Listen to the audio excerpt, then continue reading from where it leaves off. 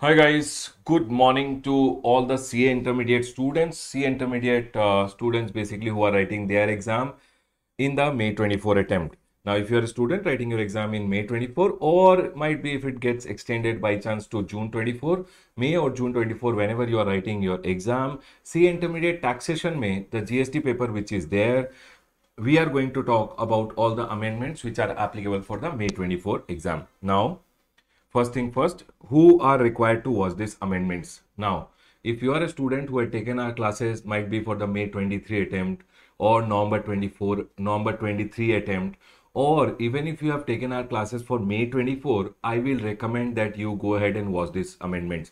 Now, November 23 and May 23, so must watch these amendments. May 24 students who had taken these classes, taken our classes which were recorded specifically for May 24, although 90% of the amendments were covered in the class, one or two amendments here and there, uh, which the ICAI now has released the statutory update, have gone ahead and told that you must go ahead and study this amendment. So those amendments also I'll be going ahead and covering. So even if you have taken our classes for May 24, you must watch this amendment. Trust me, watching the amendment means at least 10 to 15 marks in your pocket. And hence I will recommend that you must go ahead and watch this amendment whether you have taken our recent classes november 23 may 23 classes or before that you must be watching this amendment. Done sir. Let's go ahead and start with the amendment. Now second thing uh, sir in this uh, amendment uh, this booklet which you are going to use where will we find this booklet? This booklet you can go to rameshsoni.com rameshsoni.com में free resources under free resources ca intermediate May 24 folder will be there. In CA Intermediate May 24 folder, you will find this amendment. Along with this, if CA may inter or CS inter students who are there, those students also can go ahead and uh, watch these amendments. Let's go ahead and get it started. Everyone over here. CA Inter GST related amendment. Now I've gone ahead and included the amended charts also. So basically if you have version 5 chart book and now you want to go ahead and make amendments in your versions uh, 5 chart book. Now, whatever amendments or additional chart I've gone ahead and included in the version 6 chart book, those chart also has been included over here. All the amendment ka crux, small summary has been written so that you can refer them quickly. Chapter wise, I've given the amendment. Every section wise, I've given all the circulars and notifications which are applicable for your exam have been covered in this amendment. So let's go ahead and get it started. You have to go to rameshsoni.com free resources, CA Intermediate May 24 folder. In that, you will find this statutory update material statutory update slash May, uh, amendment material for May 24. You can go ahead and download it and use it. Now, the first three pages which are there are basically the index, but in the index you will be able to see for every amendment the crux is also there. So one day before the exam, when you want to quickly cover all the amendments, the first three pages will help you in going ahead and quickly revising the amendments and going for your exam. So this you can go ahead and refer to one day before the exam. Done sir, point is clear. So only three pages to be referred. Now, sir, old syllabus was there. Now new syllabus has come. What are the changes that has come? In the old syllabus, C intermediate taxation May, GST used to be only 40 mark. Now the GST is 50 marks ka paper. So we'll be going ahead and covering all the amendments or additions which have happened because now they have given 10 marks extra so whatever the additions are there. Now before you go ahead and start this amendment listen to me carefully. Before you go ahead and start watching this amendment you must go ahead and watch the accounts and record TDS and TCS chapter and place of supply ka chapter which I have already uploaded on my YouTube channel. Those three chapter you must watch it before only then you should go ahead and watch this amendment because in those chapter whatever the amendments or any addition had to be done or whatever linkage from that chapter will come it will be necessary for you. So first go ahead. The new chapters which are added accounts and record tds tcs place of supply those chapters also you watch. The notes for that chapter is available in free resources ca intermediate may 24 folder as additional chapters uh, additional chapter notes.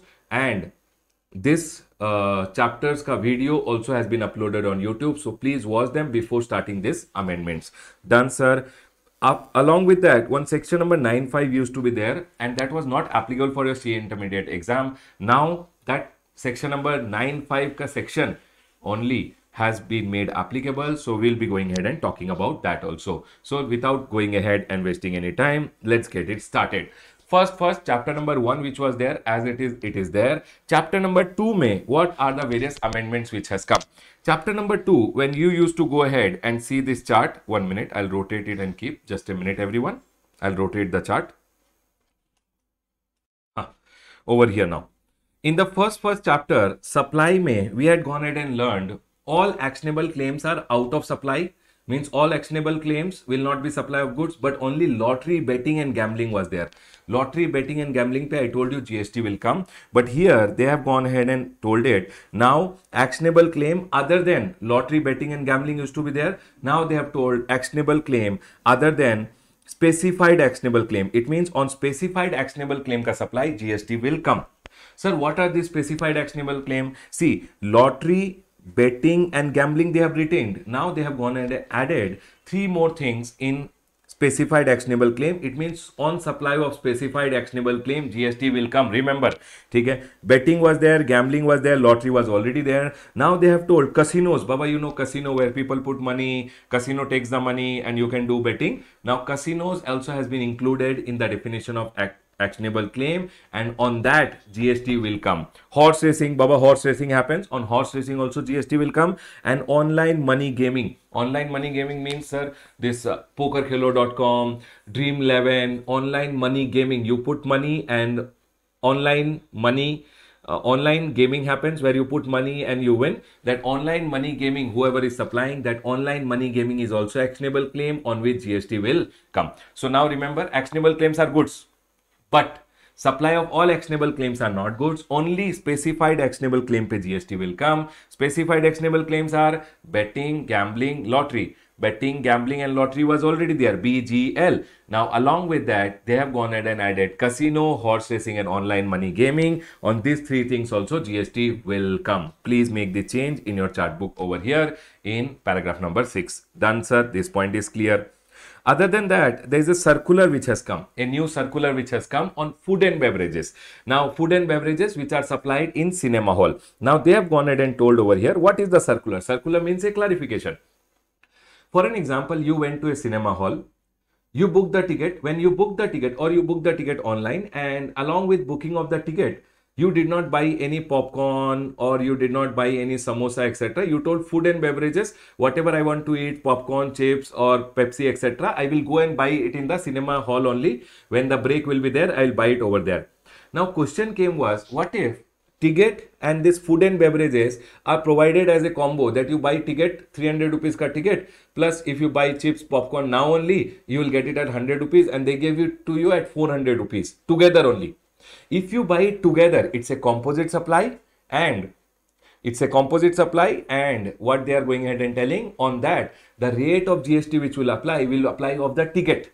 On the ticket, ticket means basically they have given you a service of supplying of service of exhibition of cinema.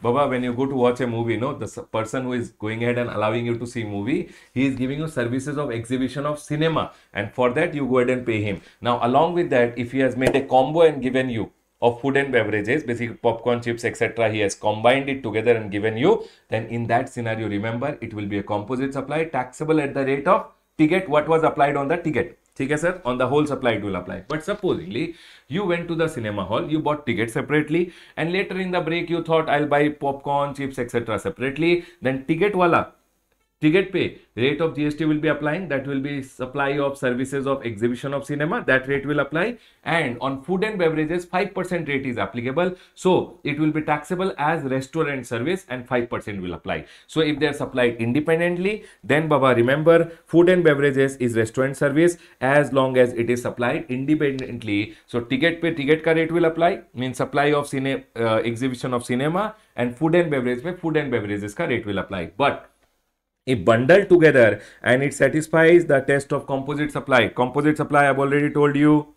Sir, composite supply means two or more individual supplies. They are naturally bundled together and supplied in ordinary course and one is principal. Remember, in that scenario, they are telling principal supply rate will apply. That is supply of services of exhibition of cinema. That rate will apply on the whole price, whole thing which they have gone ahead and charged for the movie as well as the Done, sir. This point is clear. After that, one more circular has come. This circular I had not uh, given in the chart book version 6 but now the ICAI has given the circular so I thought okay for CA intermediate student I thought earlier that they will not ask you but they have gone ahead and told this sir what is this circular listen for an example I am the holding company I am holding my subsidiary company ka share why am I holding subsidiary company ka share? So that I can have a effective control on my on a company. I am holding supposedly 51% share of a company. So I am the holding company of that company. Now holding company just because it is holding the shares of the subsidiary company, is it providing any services? They have gone ahead and told just because some holding company is holding the shares of the subsidiary company, it will not be considered as supply just because you are holding the share. Holding the shares means holding the securities and securities is neither goods nor service.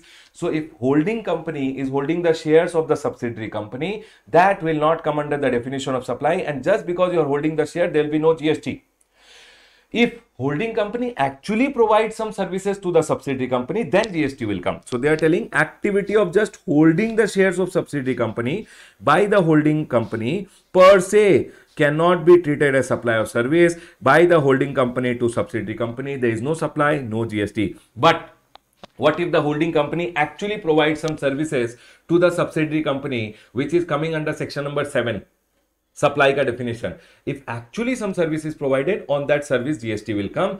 But just because i am holding the shares of my subsidiary company there is no supply done by the holding company to subsidiary company. There is no gst i hope this point is clear. That's all was the amendment in your chapter of supply schedule 3 entry number 6 now they have told actionable claim other than specified actionable claim which is lottery betting gambling horse race, casino and online money gaming. On all this, these are actionable claim on which GST will come. Only on this actionable claim GST will come. Other than that, clarification with regards to food and beverages supplied at cinema hall. If services of exhibition of cinema that is the ticket along with that food and beverages are supplied together then it's a composite supply. Whatever rate was applied on your ticket that rate will apply on the total supply. But if both are supplied independently first you bought the ticket later you bought food and beverages then food and beverages pay that restaurant services ka 5% only will apply. It is not a composite supply. And the next one just because holding company is holding the shares of the subsidiary company it is not a supply. If unless actually the holding company is going ahead and giving some services to the subsidiary company if the holding company actually gives some services on that gst will come just by holding the shares of the subsidiary company there will be no gst supply amendment is done over here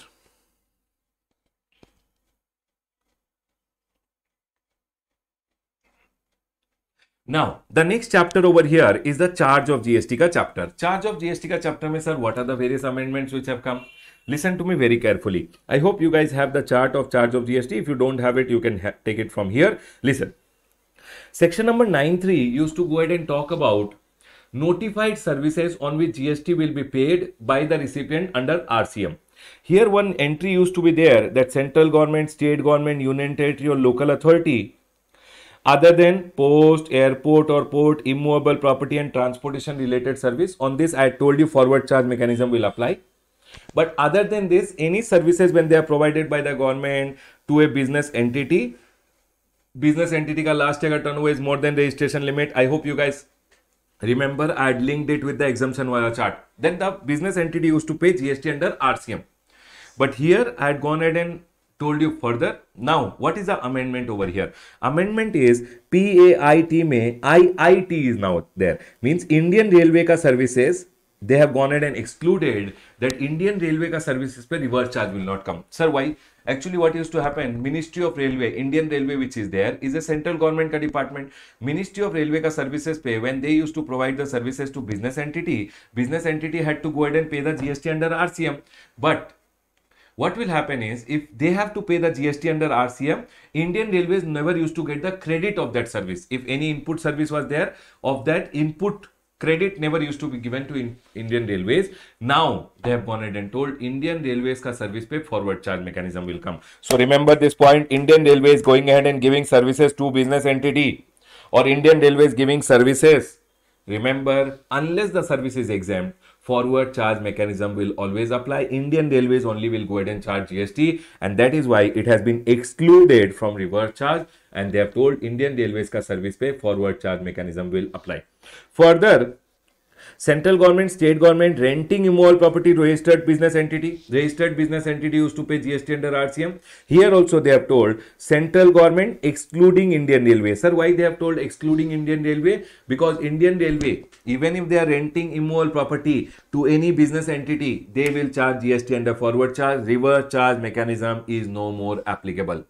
तो Indian railway का services पे forward charge mechanism has been made applicable and hence five and five A में you have to remember that first of all central government state government new territory local authority excluding P A I T was there you make it P A I I T Indian railway का service पे also reverse charge will not come forward charge mechanism will come other than that 5A में renting of immovable property when government was giving to a registered business entity, registered business entity used to pay under RCM. Now they have gone ahead and simply told over here that renting of immovable property by the central government forward charge mechanism Indian Railways, if they are renting immovable property, Indian Railways ka case mein, they have told Indian Railways, central government excluding Indian Railways because central government ka department is Ministry of Railway, which is Indian Railway. On their services, forward charge will come and reverse charge will not be applicable. Done, sir. This point is clear.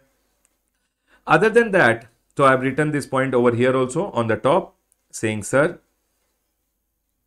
they have told over here everywhere excluding Ministry of Indian Railways, excluding eh, Ministry of Railway, Indian Railway. Baba, Ministry of Railways is also Indian, is also known as Indian Railway. Remember, Indian Railways ka services pay now GST is under forward charge mechanism. Done, sir. This amendment is done. Okay. Other than that, about one uh, director related services, they have given one circular. Let's understand the circular over here.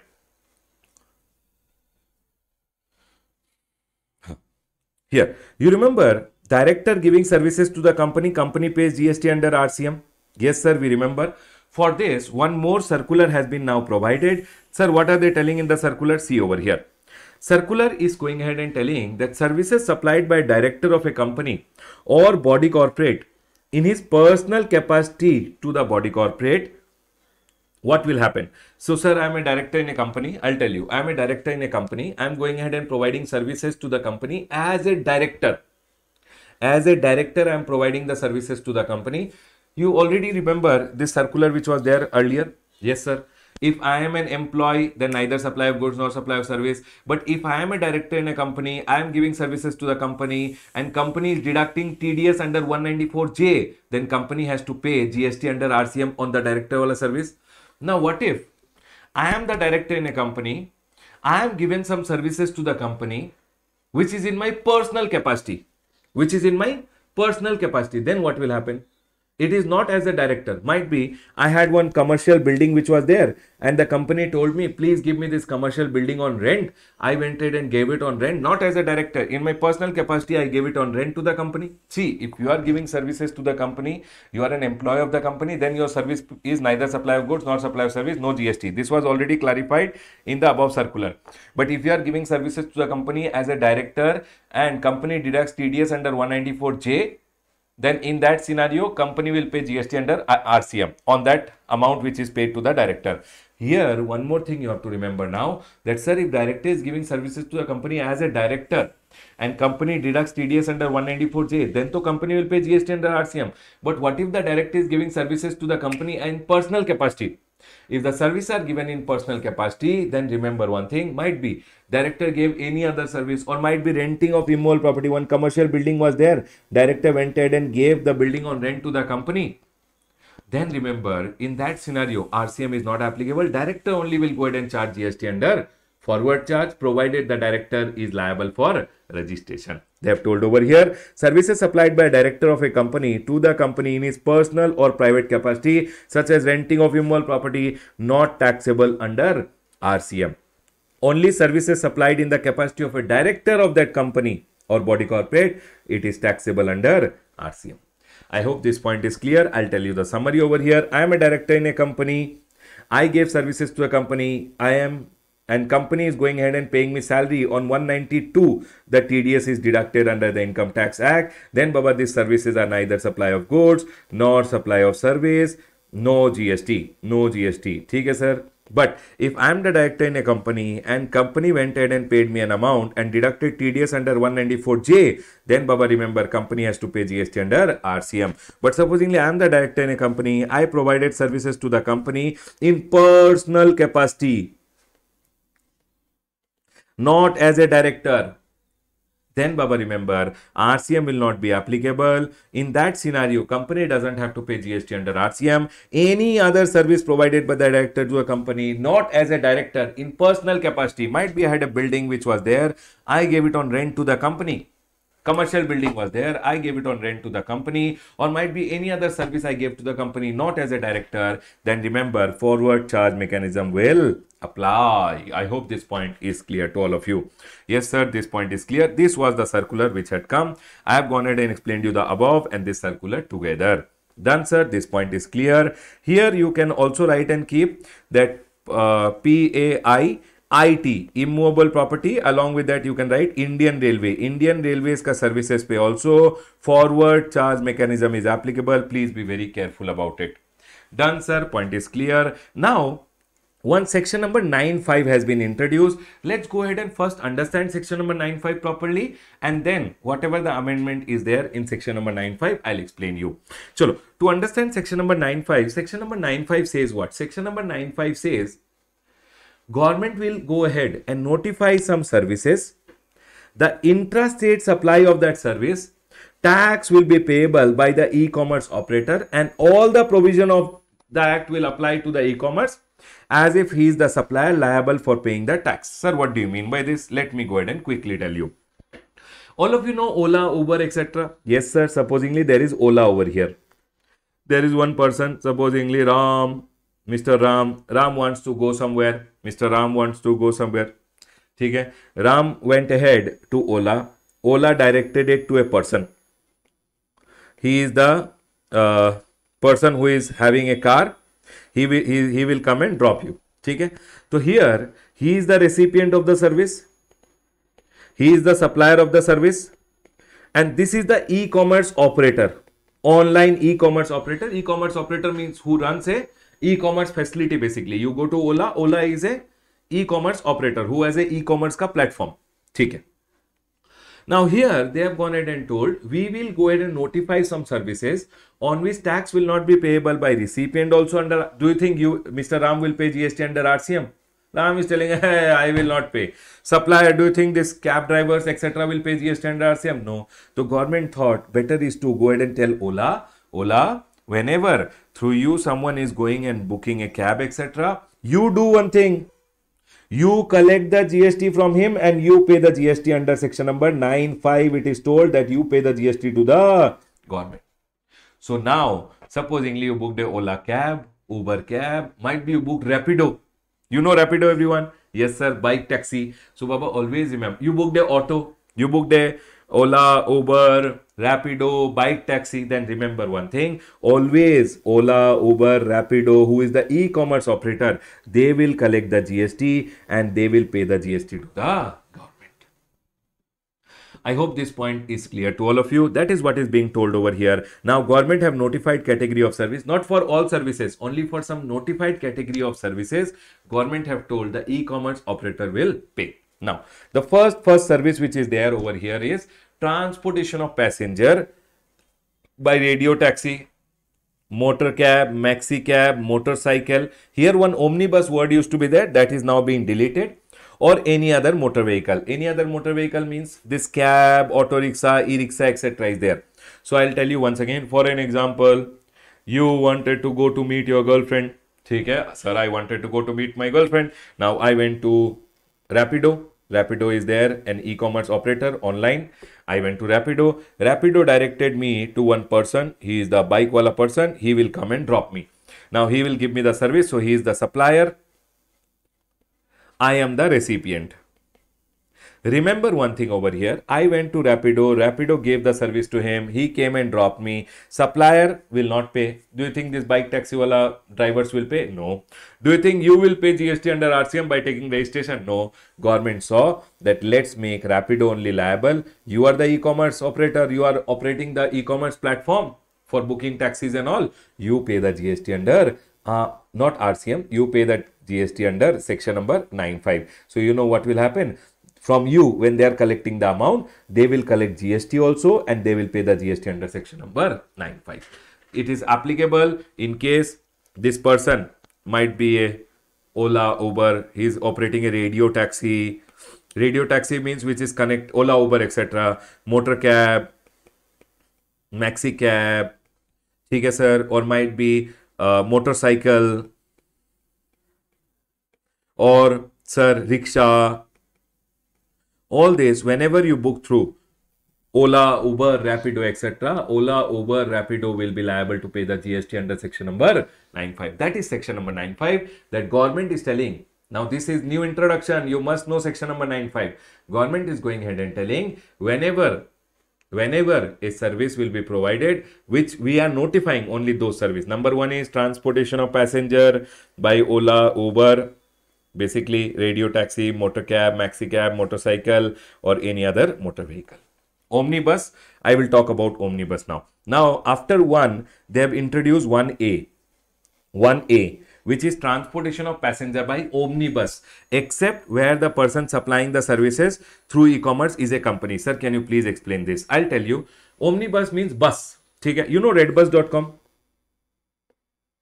ठीक है you supposingly wanted to go to some one's other state or anywhere you wanted to go you went to redbus and redbus ke through you booked a bus ठीक है and you went in the bus and the bus वाला will give you the service he is the supplier of the service who is operating a bus you can go sit correct and you are the recipient of the service redbus.com is the e-commerce operator correct sir this is the point clear now what they are telling if it is a bus ka case remember one thing if the supplier is supposingly vrl transport private limited if it's a company if it's a company private limited, public limited, if it's a company, the supplier only, the supplier only will be paying the GST under forward charge mechanism. E-commerce will not pay the GST.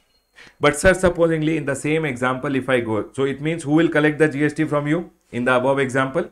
The supplier only will collect the GST from you and the supplier will pay the GST under forward charge. So supplier will go ahead and collect the GST from you and supplier only will pay the GST under forward charge.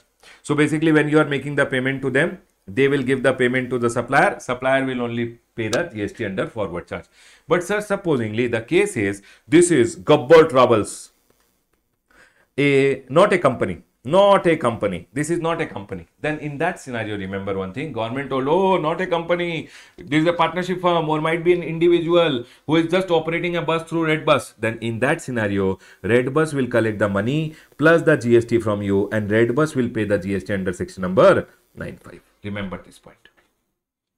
I hope this point is clear to all of you. Let me summarize this for you. I will go ahead and tell you like this. Number one, if there is a e-commerce operator you went to the e-commerce operator e-commerce operator directed it. Might be here it is uber ola who is basically giving you radio taxi ke through transportation service maxi cab motor cab ke through theek or it is might be bike motor bike ke through services motorcycle ke through service rickshaw rickshaw ke through services. Then remember one thing in that scenario to always the e-commerce operator only will collect the gst and e-commerce operator will pay the gst under section number 95 to the government.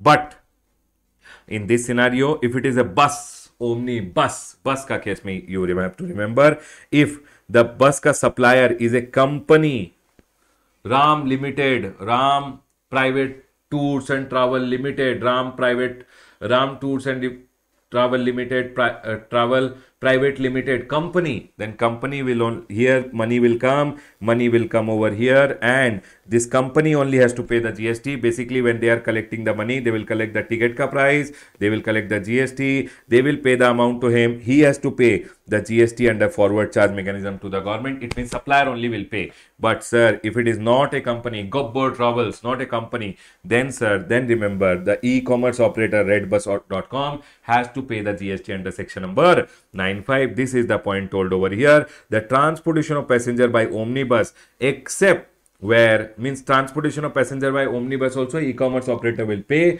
but where the person supplying through e-commerce is a company, then they will company will pay the GST. E-commerce operator will not pay. Done, sir. This point is clear.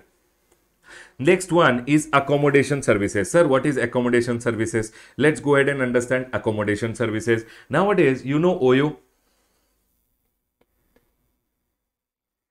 OYO का case में yes sir OYO का case में remember one thing OYO then OYO rooms dot com now OYO is there other people are Airbnb is there ठीक है supposingly this you went to one city you wanted to stay in a room you went to OYO OYO directed it to you to a hotel you went and stayed in the hotel now this hotel वाला person this the hotel is the supplier you are the recipient. Remember one thing. Hotel wala person is the supplier. You are the recipient. They have gone ahead and told accommodation services oyo goibibo etc in hotel in for residential or lodging purpose. But here there is a note. Okay remember if this supplier who is there in this case first of all they have told that oyo will go ahead and pay e-commerce will be liable. But e-commerce will be liable provided the supplier ka turnover is less than registration limit. It means sir can you tell me one thing?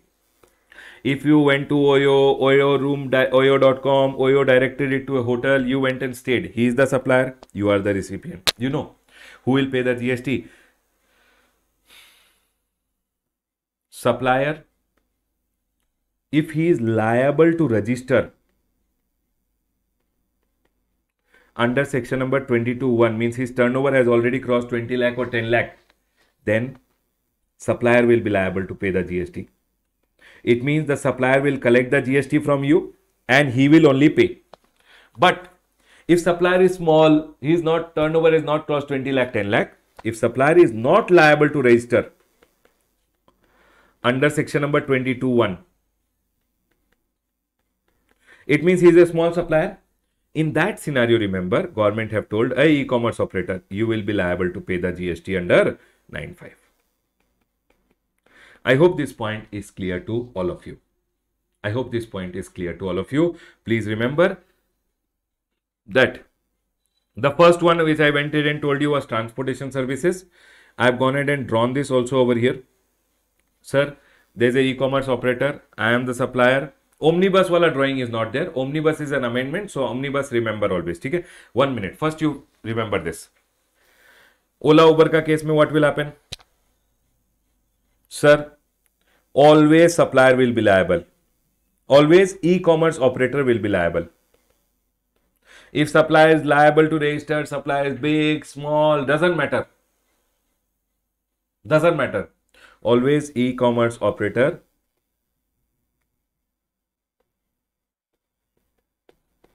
liable to pay GST under section number 95. I hope this point is clear to all of you. ठीक है? But here please don't take omnibus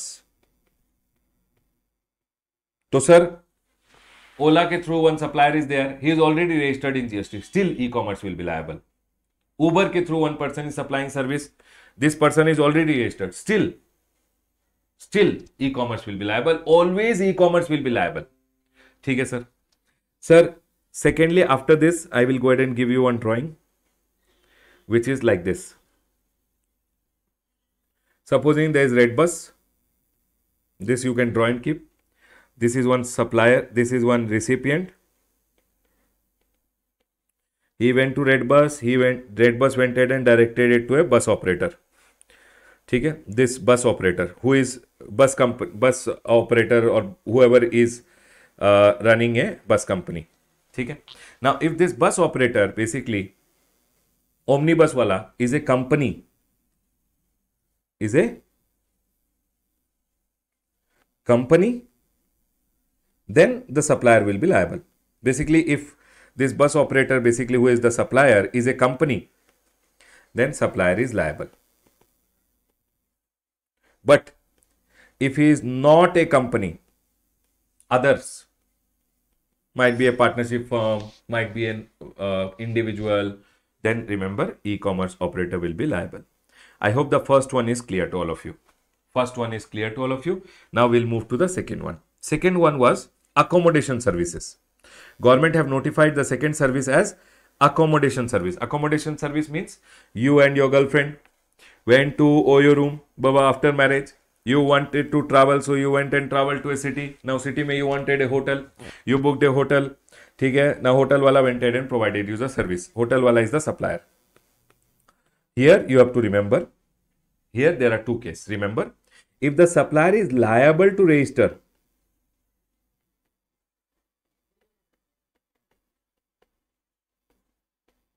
under section number 22.1 means his turnover is more than registration limit then supplier will pay the GST supplier liable to pay GST e-commerce will not pay. But if supplier is not liable to register means his turnover is less than registration limit. Or his turnover is not cross registration limit. He is a small supplier. He is not liable to register. Baba services ka case the turnover limit is 20 or 10. So if your turnover is not crossed, if you're li- not liable to register under section number 21 means your turnover is small, then in that scenario, e-commerce will be liable. E-commerce operator will be liable to pay the GST. I hope this point is clear to all of you. Chalo, we'll move to the third service now. After this comes housekeeping services. Sir, can you please tell us about housekeeping service? Chalo, I'll explain you about housekeeping service. I've drawn here housekeeping service. Ahaha, one small boy, supposedly he is Vikram. Vikram was taking a shower. Suddenly the shower stopped, all the soap on his body. Now he wants to go ahead and take a shower. So he called a plumber so that the plumber can come and repair the tap which is not working. So he went to Urban Clap. Urban Clap, now Urban Company they directed it to whom a plumber plumber came and did what repairing this is housekeeping housekeeping means painting plumbing might be cleaning of the house. All these are housekeeping services okay basically i'll go ahead and tell whatever uh, services like dry uh, deep cleaning services uh, then you can go ahead and say plumbing ka services electrician ka service. Remember one thing. This is the supplier who is supplying through the e-commerce. Now, in this scenario, government went ahead and told again, if the supplier is a big supplier who is liable to register under section number 9.5, under section number 22.1, sorry, means his turnover is more than registration limit, then supplier only will pay the GST under forward charge. Supplier will be liable to pay GST under forward charge. But the, the supplier is small, he is not liable to register only. Under section number 22 ones means is a small supplier, then who will pay the GST? Then government went ahead and told if he's a small supplier, like all these plumbers, electrician, etc., which come to your place, might be you booked it through e-commerce operator, then government is telling who will pay the GST. Then government wanted GST and government told Urban Clap, you take the GST registration under section number 95 and you pay the GST. And hence government went ahead and told over here Urban Clap should pay the GST under section number 95.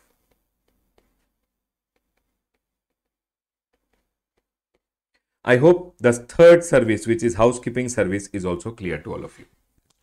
Please write down till here the housekeeping wala service. I hope it is clear to all of you. Now, the next one over here. The next service which the government went ahead and told was restaurant services like Swiggy, Zomato, etc. Through when you are booking food, who will pay the GST? Now, small, small people are also there who are uh, supplying through Swiggy, Zomato, etc. Small restaurants, correct? So what government went ahead and told over here? Swiggy, Zomato. This is one girl. She told Mama, Mama, I am hungry. She went. Mama went to Swiggy, Zomato, Swiggy or Zomato. They directed to a restaurant. Restaurant wala went ahead and supplied the food. Now who will pay the GST? Government told whether the whether the supplier of restaurant service is registered or unregistered doesn't matter. No problem. Always. E-commerce operator will be liable to pay gst under section number 95 means who will pay? E-commerce operator will pay. So when they are giving you, they sell you the food. When the payment is being collected, e-commerce will collect the GST also, and e-commerce will pay the GST to the government. I hope these four services are clear to all of you. Yes, sir. Please write down this. Always remember, you went to Swiggy Zomato, Swiggy Zomato directed it to a restaurant. Restaurant wala came and gave you the food. Who will pay the GST? Always remember. Always, whether the supply is registered, unregistered, doesn't matter. Always e-commerce operator will pay the GST. Who will pay? E-commerce operator will pay. Swiggy Zomato will pay. They will not pay the GST. Done, sir. Here one more small point which they've entered and inserted in the fourth one. Except services by restaurant in specified premises. And what's a specified premise? Specified premise means premises providing hotel accommodation service having declared tariff more than 7500 per unit per day. Sir, what do you mean by this? Let me go ahead and quickly first explain you. So tell me one thing, there is Zomato over here. You went to Zomato, Zomato directed it to a restaurant. Restaurant supplied you the food. You will make the payment to Zomato. Who will collect the GST and who will pay the GST under 95? Zomato will pay the GST under section number nine five ठीक है sir restaurant is registered और unregistered under GST doesn't matter no problem always Zomato Swiggy only will pay the GST under nine five any e commerce operator whoever is the e commerce Foodpanda dot com whoever e commerce operator only will pay always now they have gone ahead and told if the restaurant is in specified premises then restaurant will pay. Sir, what do you mean by this? And they have told specified premises means that premises, that premises of which the declared tariff of a room is more than 7500 per day. See, I'll show you over here. 7500. Sir, what do you mean by this? Listen. For an example, you wanted to eat food, but you told Mama, Mama, I want from Taj only. You went to Zomato. This is Taj Hotels, hotel group Taj. Taj में Taj Hotels, you know the room rent is more than 7500 might be the room rent over here is 8000 rupees per night. Here in this taj group of hotels one restaurant is there wah taj. And you wanted it to eat from wah taj only. okay now this is a big hotel taj of which the room rent is more than 7500 this will be known as specified premise Specified premises means the premises where the room rent is more than 7500 per night. Okay. Now you went to Zomato, Zomato directed it to Wataj, Wataj went ahead and supplied you the food. Remember, services by restaurant in specified premise. Specified premise means premises having hotel accommodation of declared tariff more than 7500 per unit per day. Means per room ka rent is more than 7500 that's an exception in that scenario. Remember because it's a big hotel government have gone ahead and told you are a restaurant which is located in a big hotel you only have to pay. Because how is it considered a big hotel? By seeing the declared tariff. If the declared tariff per room is more than 7500 then baba these people the supplier will supply you the food. They will only go ahead and collect the gst basically what will happen? Zomato ko you will pay the total amount. Zomato will pay the amount to them. These people will pay the gst under forward charge mechanism. Here in this scenario e-commerce operator will not be liable to pay gst under 95 i hope all these points are clear to all of you. Please write down this also. Pause the video and write down. I'll tell you once again all the four points which I have explained you. Government have now gone ahead and notified section number 9.5. Basically, ICAI has gone ahead and told for CA intermediate 9.5 has to be studied. 9.5 says supplier, recipient, and third is the e-commerce operator. Government understood that it's easy to collect from the e-commerce operator because they are more organized. Supply is also unorganized, recipient is also not organized, so we'll collect it from the e-commerce operator. And the first service which they notified is transportation of passenger. If transportation of passengers is happening by all this vehicle, So, sir, the first one you already told us. What is the first service I told you? If there is a e-commerce operator, other than omnibus, if the supplier is supplying, might be transportation of passenger by radio taxi, taxi, motor cab, maxi cab, metered cab, on which the meter is there. Okay? Then uh, Rapido this uh, bike taxi or e- rickshaw, e-rickshaw. Then remember, never e-commerce will pay. Never uh, supplier will pay. Always the e-commerce only will collect the GST from you and e-commerce will pay. Okay? This point is clear. Sir, what if it's a bus? If bus is there, e-commerce is there. If bus operator is a company, he will pay GST. But if he is not a company, then e-commerce will pay. Remember, second thing I told you. First one cleared, second one cleared. Then move to the next one. Housekeeping and accommodation. Accommodation service I told you. Remember, here there is something different. Here, though, always e-commerce is liable. Whether supply is registered, unregistered, doesn't matter. But here, they told Ola, Oyo Rooms, Airbnb, if people book through them, remember, if this supply is a registered person who is liable to register basically under section number 21, his turnover has crossed 20 lakh or 10 lakh, then he will only pay the GST under forward charge. He will only collect the GST from the recipient, he will only pay. But if supply is not liable to register, then e-commerce will collect the GST and e-commerce will pay. I hope this point is clear. Government wanted GST. However, if supply is registered, he will pay. Supply is small person, then e-commerce will pay. Theek. Third service is house housekeeping services. Housekeeping means denting, painting of the house. Cleaning, electrician, plumber, all this ka service. Remember, if the supplier who is supplying through e-commerce if the supplier is a person who is liable to register, then supplier will pay the GST. If supplier is not liable to register under 21, means he is a small supplier, then he will not pay. So whom, whom to make bakra? Government made e-commerce as the bakra and tell, told e-commerce 95 section says you should be paying the GST under section number 95. Sir, one more service notified, restaurant service.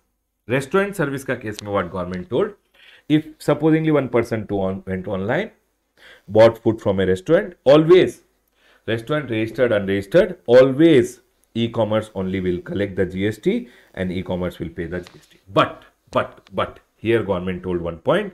Supposingly there is a specified premise. Specified premise means taj hotel oberoi hotel where the room rents are more than 7500 remember in that scenario for an example in that taj hotel one restaurant is there. That restaurant because Taj Hotel ka room rent is more than 7500 that restaurant ke through when food is being supplied restaurant only will pay the GST basically total money will come to Zomato Zomato will give it to him. He will only have to pay the GST under forward charge. E-commerce operator will not pay. But this is only for specified restaurant. Specified premises ka case mein means a restaurant which is located in a big hotel where the room rents are more than 7500 room rent is more than 7500 i hope this point is clear to all of you these are the four services which are being notified 1 1a 2 3 and 4 i hope everyone is cleared number 1 transportation of passenger by radio taxi motor cab, maxi cab, motorcycle, motor vehicle. Accommodation, uh, omnibus wala I told you, accommodation I told you, housekeeping I told you, and restaurant also I told you. One point with, which is over here, which I want to ask you. You tell me. Okay, sir, tell me. For an example, you wanted to fly.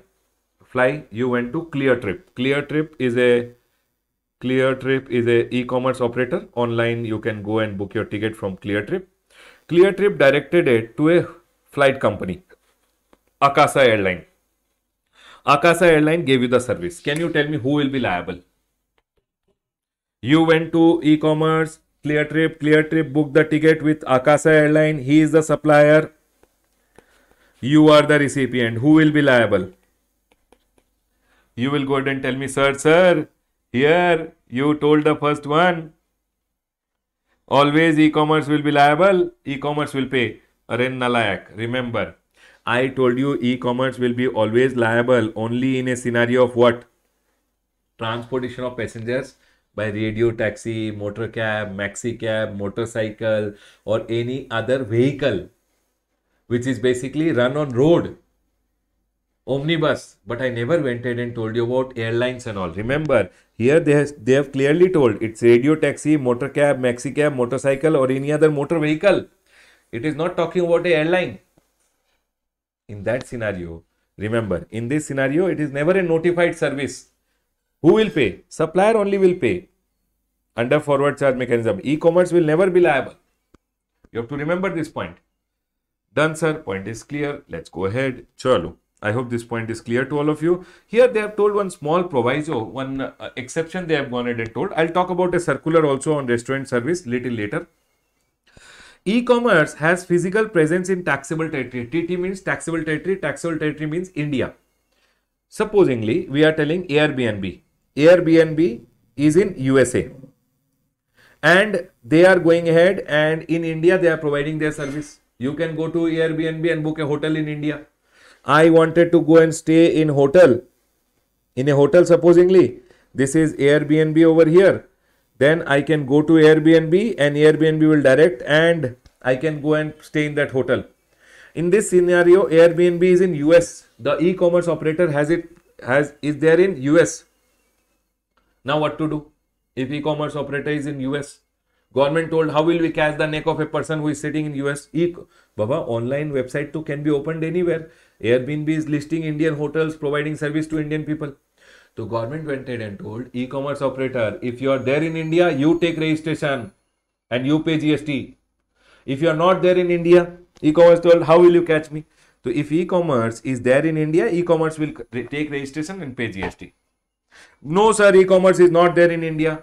E-commerce should appoint a representative in India whose neck government can catch. Representative in the taxable territory will be liable. Sir, e-commerce Airbnb is telling, I though don't have a person also in India. Government told you don't have a person, you want to do business in India? No. Appoint a person in India, taxable territory, for the purpose of paying tax and he will be liable. I hope this point is clear to all of you. Done, sir. This point is clear. Chalo. Now here there is a small circular which is there on restaurant service. Circular on restaurant service. Please come to the next page. This circular also, I have gone ahead and written down here. Also, the detailed circular is there in your book over here. Here. I have explained you section number 9.5 wala services. Section number 9.5 wala service. Along with this, number one, transportation of passenger. Transportation of passenger if it is happening by omnibus. Accommodation service, housekeeping service, and restaurant service. I will always recommend once you have heard this, again you have to hear this because you are a small kid now. Once you hear, you will not remember. So again, section number 95, you should hear and then continue so that you understand it properly again and again. Baba, this video anyways you can see again and again. So two, three times you see it properly and go so that you can understand this. Done sir, point is clear. One shot you will not understand, second time you must see it. It. Now, I hope you have gone ahead and seen your TDS and TCS wala chart because if you have not seen your TDS and TCS wala chart, which I have already provided in uh, TDS and TCS wala chapter, then you will not understand what I am going to talk now. Okay, so you should see that. GST on services supplied by restaurant through e-commerce operator. I'll tell you this again. Supposing there is Zomato. Zomato has listed one supplier, restaurant. He is a restaurant. And here there is a recipient. Might be you are hungry. You went to zomato. Zomato directed it to a restaurant. Restaurant supplied you the food. Unless it's a big restaurant located in specified premise like taj etc always e-commerce will pay the gst under section number 95 i hope you guys remember this. Section number 95 may they told e-commerce only will pay the GST, e-commerce will be liable. Correct. Now, this ke upar some questions people had asked, so they went ahead and clarified. Let's understand the circular which they have gone ahead and given. This circular I have gone ahead and simplified and written in your chart book also. I'll explain it to you from the chart book. Textbook may anyways detailed mate is given. Here. Since e-commerce is liable to pay GST, it is not required to collect TCS but on other goods and service not notified, e-commerce will collect TCS. In the TCS ka chapter, please see the TCS ka chapter before you see this. Okay. Now what happens? TCS ka case mein, whenever any person, suppose this is a supplier, this is a e-commerce operator, you went to e-commerce e-commerce directed to supplier supplier went ahead and gave the goods or service. You went ahead and made the payment. In tcs chapter we have learned that whenever e-commerce operator will pay you they will deduct tcs and they will pay the tcs to the government. Yes sir we know. Now in this scenario they are going in and asking one question that sir in case of restaurant money will go over here this e-commerce operator will only pay the GST under 9.5. When they are only paying the GST, when they are only paying the GST, when he is releasing the payment in case of restaurant service, when he is releasing the payment to the supplier, will TCS be applicable? So government told TCS provision will not be applicable. That's all is the first circular. It is not required to collect, but any other goods and service, any other goods and service case mein to TCS will be collected. But in case of restaurant, when e-commerce is liable to pay, TCS will not be collected. So sir, can you tell once again? I'll tell you once again over here. So for an example, this wala case, first case, Zomato case में under section number 95 GST is paid by Zomato. So sir, when Zomato is releasing the payment to the restaurant, Zomato will not cut TCS. But sir, what if this case is there? Where e-commerce is not going ahead. E-commerce is not going ahead and uh, paying the gst because here supply is liable. Then baba in this scenario when he is releasing the payment he will collect tcs i hope this point is clear to all of you. Done sir. Point is clear. Let's go ahead. Next. E-commerce is not required to take separate registration to pay tax on restaurant service under 95 for an example if zomato supposingly is already e-commerce operator zomato swiggy etc is already a registered person. Already a registered person because might be their commission which they are taking from restaurants is already more than 20 lakh rupees. So they are already a registered person.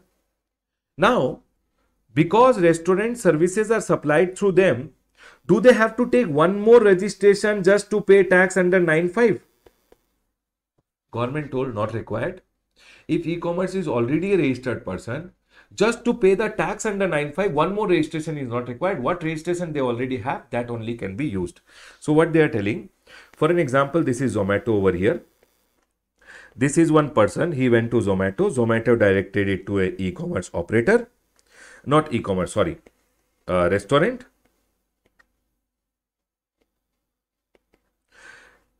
Restaurant went ahead and gave the food. Normal, you understand, okay? He went ahead and made the payment. Zomato has to pay the amount under section number 95. GST has to be paid by Zomato. Okay. Now they are asking, might be Zomato is already a registered person because it is charging commissions to restaurant and its it, its main income is commission. Its commission income already crossed 20 lakhs, so it's already a registered person. Whenever commission ke liye it is giving bill to the restaurant, hey, give commission, give commission, it's already charging GST. Now, just to pay tax under section number 95, do they again have to take registration? Do they again have to take registration? So, government clarified over here that no, one more registration is not required. What registration you have, under that registration only, you can go ahead and pay the tax under 95 also. So, they don't have to take one more registration just to pay the tax under section number 95.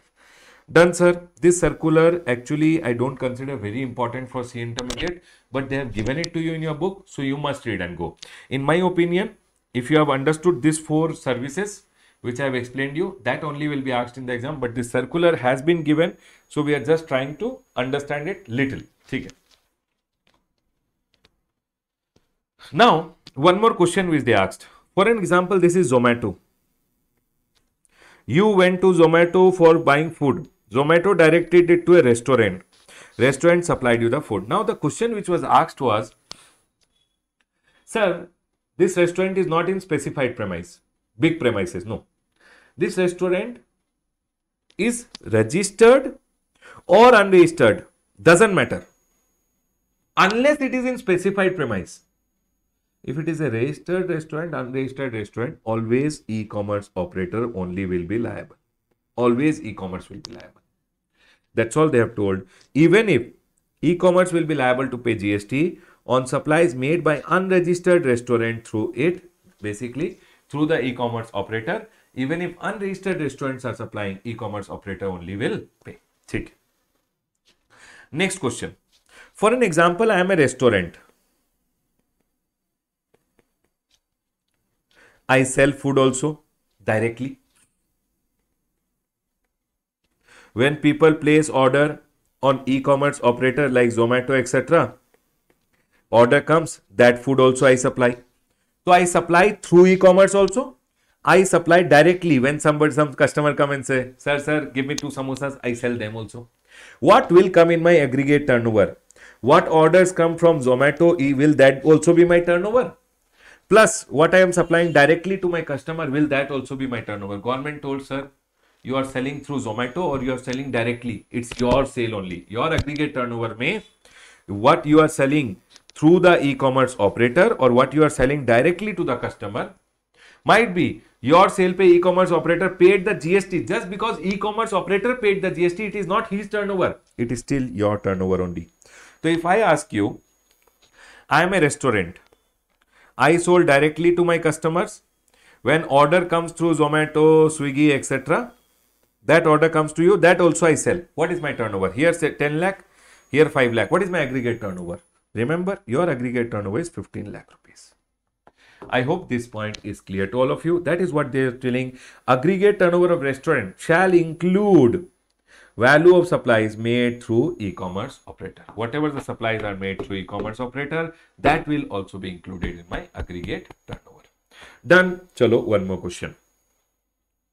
People went ahead and asked one more question that, sir, supposingly this is Zomato. This is one person. This is the restaurant.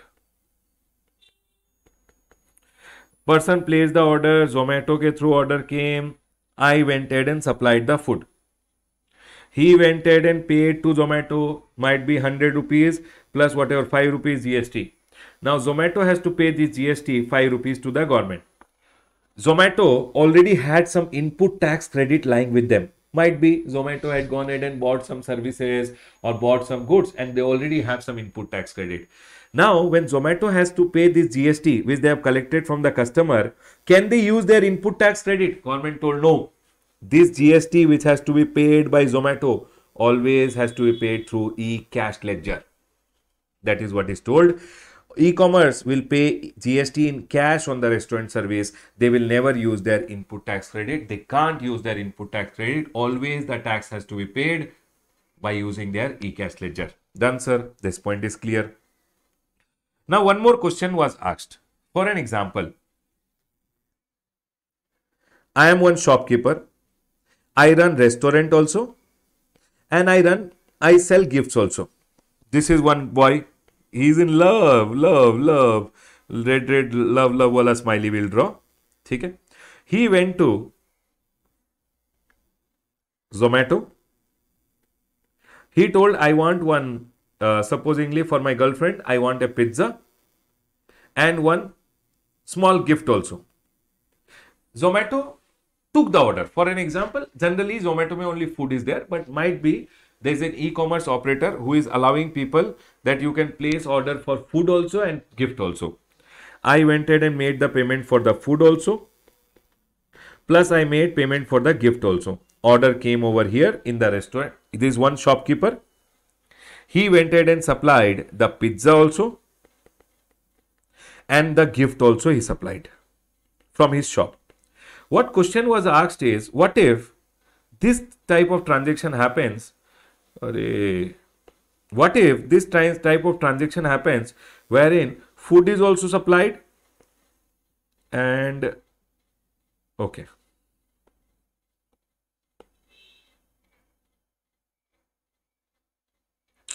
Huh.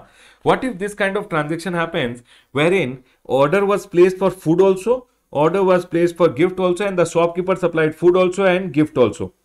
Now in this people asked whether on the restaurant plus gift both pay e-commerce will pay or only on the food which was supplied through the restaurant. Basically restaurant service pay e-commerce will pay. So they clarified simple that whenever this kind of service is there remember on the food restaurant service the e-commerce this is restaurant service. On this restaurant services e-commerce will go ahead and pay the gst means from them the e-commerce will collect the gst and pay. On the gift which was supplied this supplier who is there he should only collect the gst and he should pay the gst under forward charge. So on the food which is supplied who will pay? E-commerce will pay. On the gift who will who will pay? The shopkeeper will pay. They have gone ahead and clarified this because only on restaurant service e-commerce pays. On the gift or any other goods and services e-commerce will not pay. The supplier only will collect the gst and he should only pay the gst under forward charge mechanism to the government that's all they have gone ahead and told over here. If restaurant and other services are supplied to customer under the same order. Advisable e-commerce will raise separate separate bill to the customer for the restaurant services. Other goods and supply supply for the restaurant. E-commerce will raise the bill. E-commerce will collect the gst and pay. For the other gifts which are supplied i am the supplier. I should only raise the bill. I should only collect the gst and i should pay it to the government supplier will raise the bill e-commerce will collect tcs because if it is not restaurant service e-commerce has to collect tcs i hope this point is clear i'll tell you once again for an example there is an e-commerce operator over here this is one person, he's in love, he went and placed an order, order came to a supplier. Now here he supplied restaurant service also. So what will happen for the restaurant service? E-commerce will collect the GST and e-commerce will pay the GST under 95. Now what happened? He also supplied gift from here. Baba for the gift might be the order went from here. When e-commerce is giving the payment to him, e-commerce will collect TCS because when section number 95 wala service is not there, e-commerce collects TCS. I hope you have seen the TCS wala chapter. So on the gift, the supplier only will raise the invoice, he will only collect the GST, he will collect the GST and he will pay the GST to the government. But on the restaurant service, e-commerce operator will pay the GST under 95. I hope this point is clear. Although this circular is not very important from exam point of view, but still I've gone ahead and explained it to you in detail. This time section number 95 is important. I'll recommend that students see this video again so that you can remember it properly for your exam. Don't miss it see this video what i've shown you what i've taught you now see it again and again so that you can understand this again and again properly one time might be you're a little confused but again if you see you will be 100% clear done sir. That's all. So what are the various changes which are okay. See this circular which was there this circular ka each and every question i've gone ahead and explained you over there only. Okay sir. Next. Now section number 9 was there. In section number 9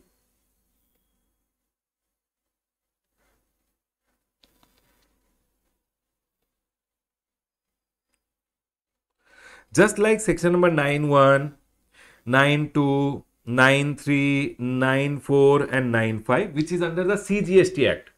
Section number 91, 92, 93, 94 and 95 is under the CGST Act which says whenever you supply G whenever you supply goods and service you will collect the GST and pay to the government. Like how we have section number 91 we have section number 51 under the IGST Act. Under the IGST Act which says IGST will be levied whenever there is an interstate supply, not intra. IGST is levied when interstate supply. So when you read the IGST Act, IGST Act may also we have section number 51, 52, 53, 54 and 55. 51 says that whenever IGST will be levied, IGST will be levied on interstate supply, same everything. But IGST ka maximum rate will be 40%. Why 40% sir? CGST is 20%, SGST is 20%, IGST will always be 40%. That is why it is told when you read this under the IGST Act, I've written down the IGST ka section also such for you to read. IGST Act mein section number 5 is there which says whenever same like CGST Act may we have 91, 92, 93, 94, 95. For charging IGST, we have the IGST ka section IGST 51, 52, 53, 54 and 55 which was not applicable for your C intermediate. Now they have included this. But there is nothing to remember in this. everywhere where you had intra in the CGST Act, in IGST Act, when you read 5.1, it intra will become inter. Section number 9.2 told CGST will be levied on HP man. Whenever high-speed diesel, petroleum crude, motor spirit, aviation turbine fuel and natural gas is supplied within the state, CGST will be levied. Outside the state, interstate then, then IGST will be levied. Who told? 5.2 told. IGST on interstate supply of HP man will be levied from a date to be notified by government. That is told by 5.2. Like 9.3 may we have reverse charge services. 5.3 also, whenever all these services are supplied interstate, all these services are supplied interstate, who will say IGST uh, has to be paid under reverse charge? That is told by 5.3. But in 5.3, one more service has been notified. You remember, I'll tell you this service.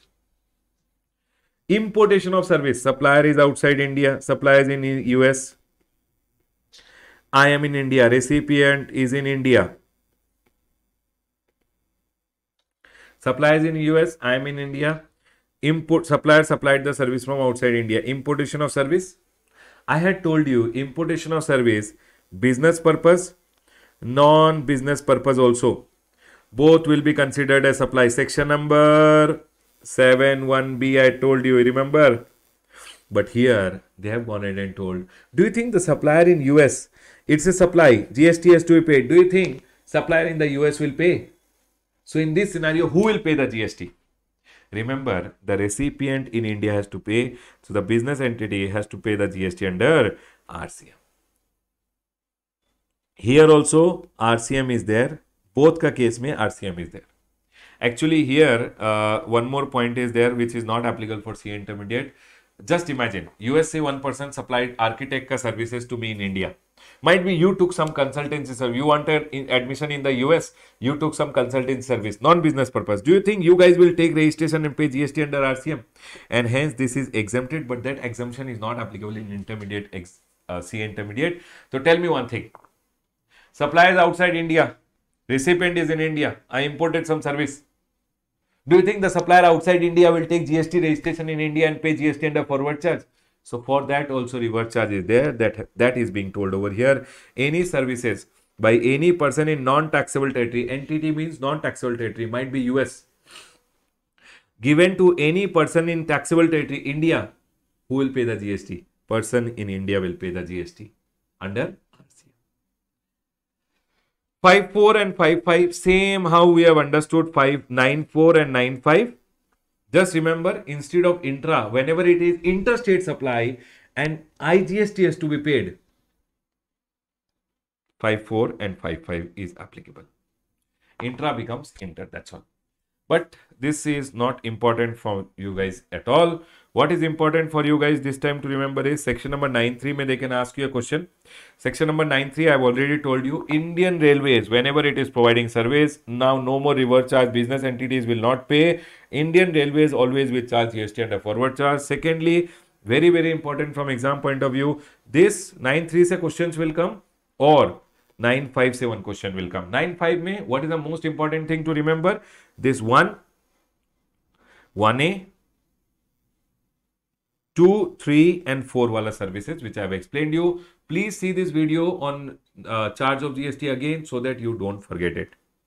I hope this point is clear. Yes, sir, the point is clear.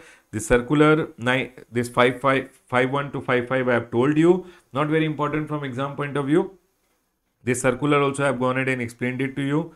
And this also we have done. We are done with our chapter of charge of GST.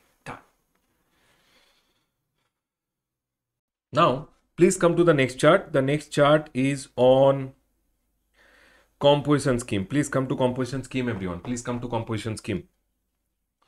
In composition scheme, they have gone ahead and introduced one small change. Before I go ahead and talk about this change, I want you guys to please come to the registration chapter. First, we'll understand the registration chapter what are the various changes and then we'll come back to composition scheme and I'll go ahead and talk about it. Please come to your registration chapter. Registration chapter may we had three sections, section number 22, section number 23, section number 24. Section number 22 used to go ahead and talk about those people who are liable for registration. Section number 22, 1, 2, 3, 4. I hope you remember. Section number 22, 1 told if your turnover, section number 22, 1 I'm talking, if your turnover is more than if you are a supplier of service 20 lakh or 10 lakh. If you are a supplier of goods 40 lakh 20 lakh or 10 lakh only then you are required registration. But section number 24 went ahead and told that you will be required compulsory registration. Section number 24 when you used to learn i'll go back to the chart and i'll tell you. One minute i'll rotate this chart. Just a minute. Ah, done.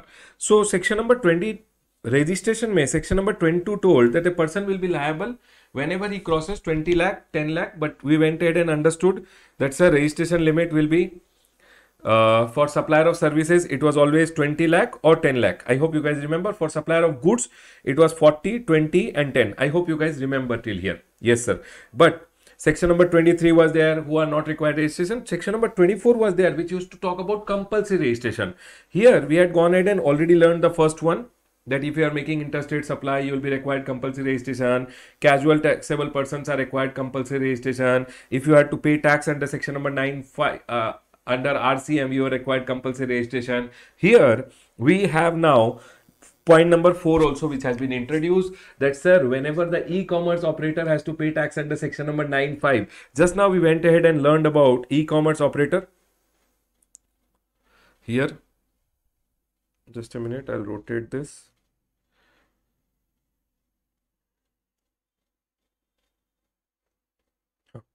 So here we had gone ahead and learned that sir, always Ola Uber will be liable, e-commerce will be liable to pay tax under section number 95. I told you whether supply is registered or not registered, e-commerce operator will be liable.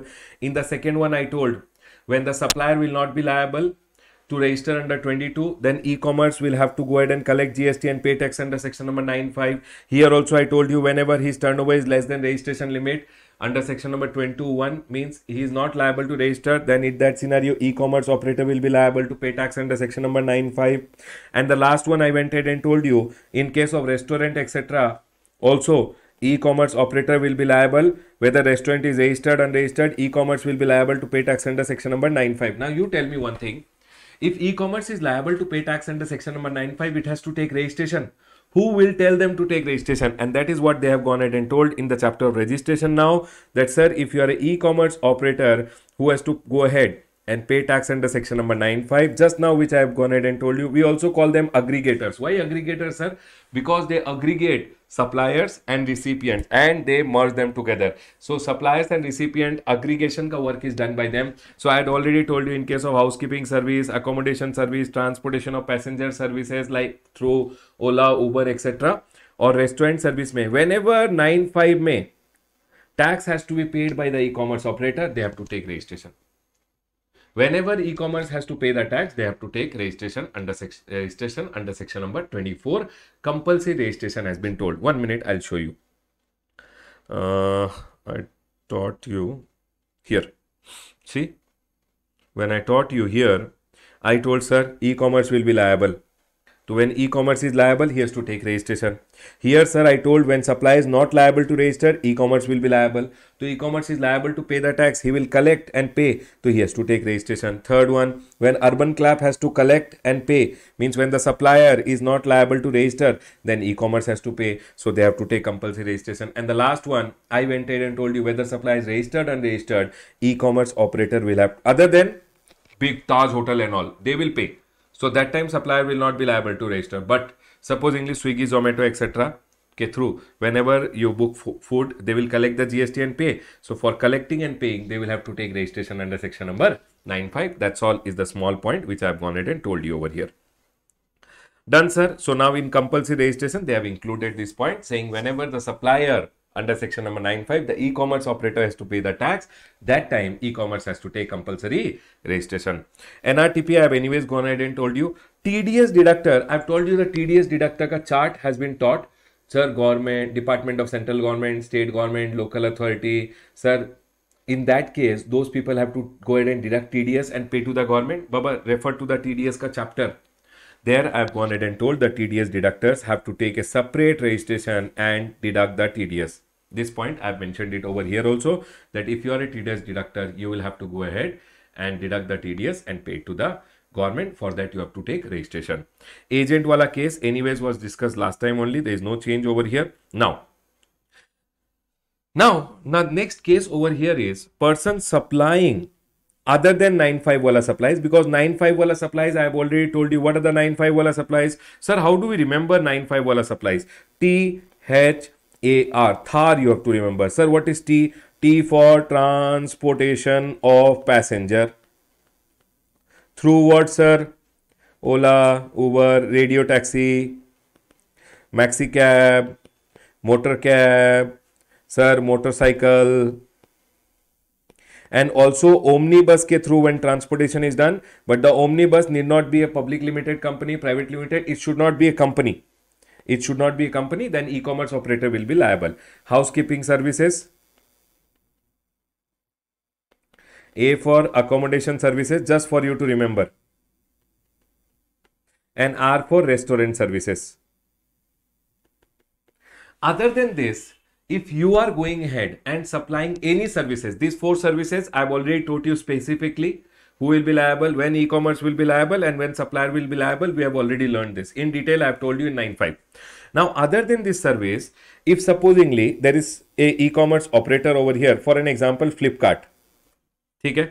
What happens? One person. Please see the TCS ka chapter before studying all this. You should have seen that chapter on my YouTube channel, TDS and TCS. Okay?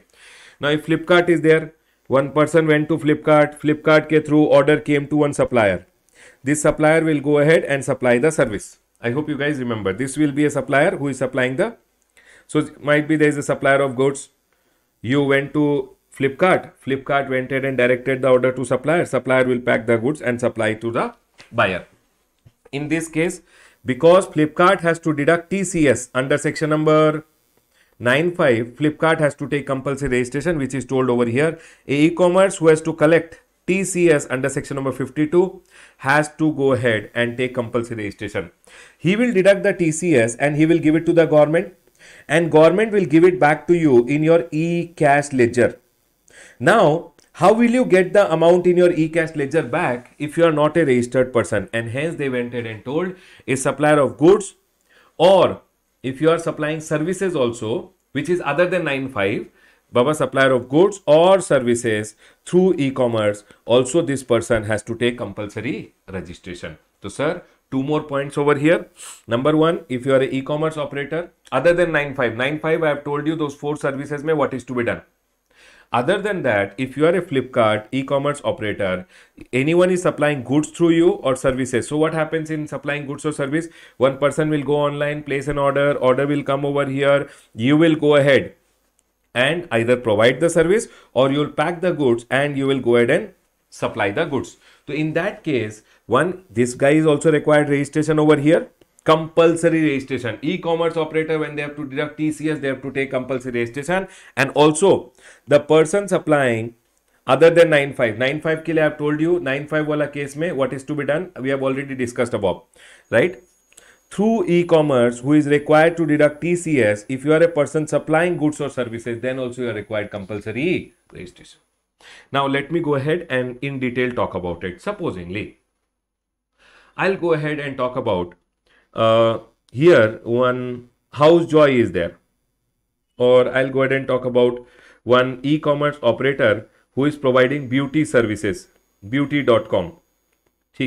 This guy was there he is getting married ठीक है तो he went to beauty.com beauty.com directed it to a person this person is providing not housekeeping service denting painting of person he is not providing housekeeping service so it is not under 95 he is a beautician or she is a beautician she will come do the denting painting of this person and he will become beautiful okay listen carefully now in this case order went over here order came over here she went ahead and provided service now in this case these people went now these people are required compulsory registration but she went to the girl, sir, my turnover is very small. Please exempt me from compulsory registration. These people are not listing me only in the e-commerce platform, saying I am a uh, supplier of service and I have to take compulsory registration. So government went. nine five wala supplies four services which I have told you transportation, housekeeping, accommodation, and restaurant. Please keep them separately. I have already told you about them. Other than that, any services supplied through e commerce, you have to take compulsory registration. But then these people started crying. Uh, sir, please don't tell us to take compulsory registration. We are supplier of service through e-commerce please don't tell us to take compulsory registration. And hence government went ahead and issued one notification under section number 22 and told if you are a supplier of service through e-commerce then up to 20 lakh or 10 lakh in case of m square nt manipur mizoram nagaland and tripura you don't have to take compulsory registration. And you know what? Everyone over here now.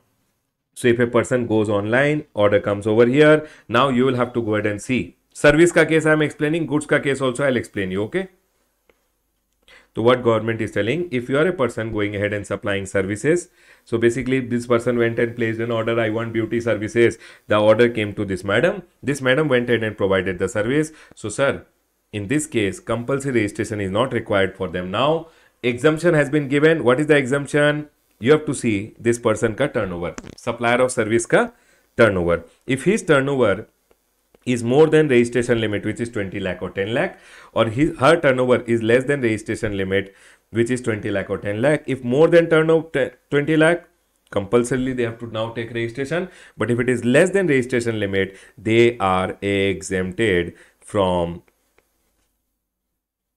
compulsory registration. It means they are not a registered person they will not be a registered person if their turnover is less than registration limit correct now, I will not talk about when your turnover is more. When your turnover is more, you have to take compulsory registration. Okay, I'll take this to the next page now.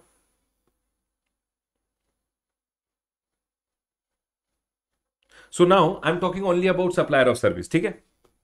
So now if I go ahead and tell you her turnover is less than registration limit over here, she is exempted from registration. It means she will not be a registered person and she is supplying her services through e-commerce in the TCS chapter, I told you e-commerce, whenever the payment will come, e-commerce, when he is giving the payment, he will deduct TCS and give it to the government. And government will go ahead and give the credit to her.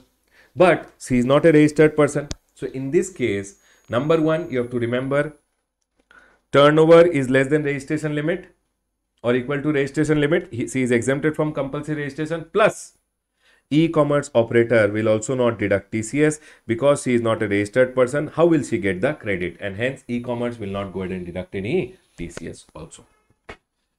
Done sir, this point is clear for supplier of service you told. ठीक है nine five वाला services four services you leave it for those four services I have already told you in detail what is to be done transportation of passenger housekeeping accommodation and restaurant I have already explained you in detail for four, those four services. Other than those four services, any services which are supplied through e-commerce, remember, if the person ka turnover is more than registration limit, he will be required compulsory registration. If the turnover is less than registration limit, then sir, that person will be exempted from registration supplier of service. Now, if that person is exempted from registration, how will she get the credit? So hence, e-commerce has also been told, go refer to your e-commerce ka chart. I've told there, supplier of service where e-commerce will not go ahead and deduct TCS if they are not a registered person who are exempted from registration. Chalo, I'll tell you about goods now. For an example, this is Flipkart. Now for goods also they have gone ahead, supplier of goods and having turnover in last year or current financial year not exceeding registration limit, exempted from compulsory registration but subject to the following condition. So it means if I am a supplier of goods through Flipkart, for an example, one person went and placed an order through Flipkart. Flipkart went ahead and directed to me, I am supposingly supplier of goods I will pack the goods and send to this person.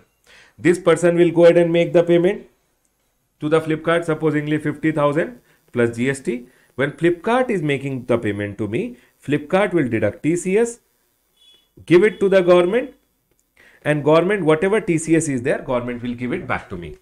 But here also they have gone ahead and now told that if there is a supplier of goods whose turnover is greater than registration limit, then they are required compulsory registration but 40 lakh, 20 lakh, 10 lakh in some state registration limit.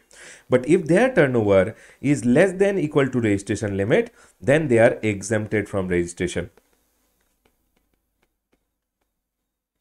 That is what is being told that sir, supplier of goods having aggregate turnover in preceding financial year or current financial year not exceeding registration limit are also exempted from compulsory registration but there is some condition that that person should not make any interstate supply it means when i am supplying through flipkart and all me when i am going ahead and supplying to this guy it should be only intrastate supply when i will issue the invoice no i should only charge cgst and sgst I should only make intrastate supply. I should not make any interstate supply. This is the condition for supplier of goods. Next, shall not make supply of goods through e-commerce in more than one state or UT. I should not go ahead and supply through e-commerce in more than one state or UT. I should supply only in one state. Then, be, I am required to obtain PAN number. I should take PAN number, not GST number, PAN number. Okay, under the income tax PAN number is there. I should have PAN number.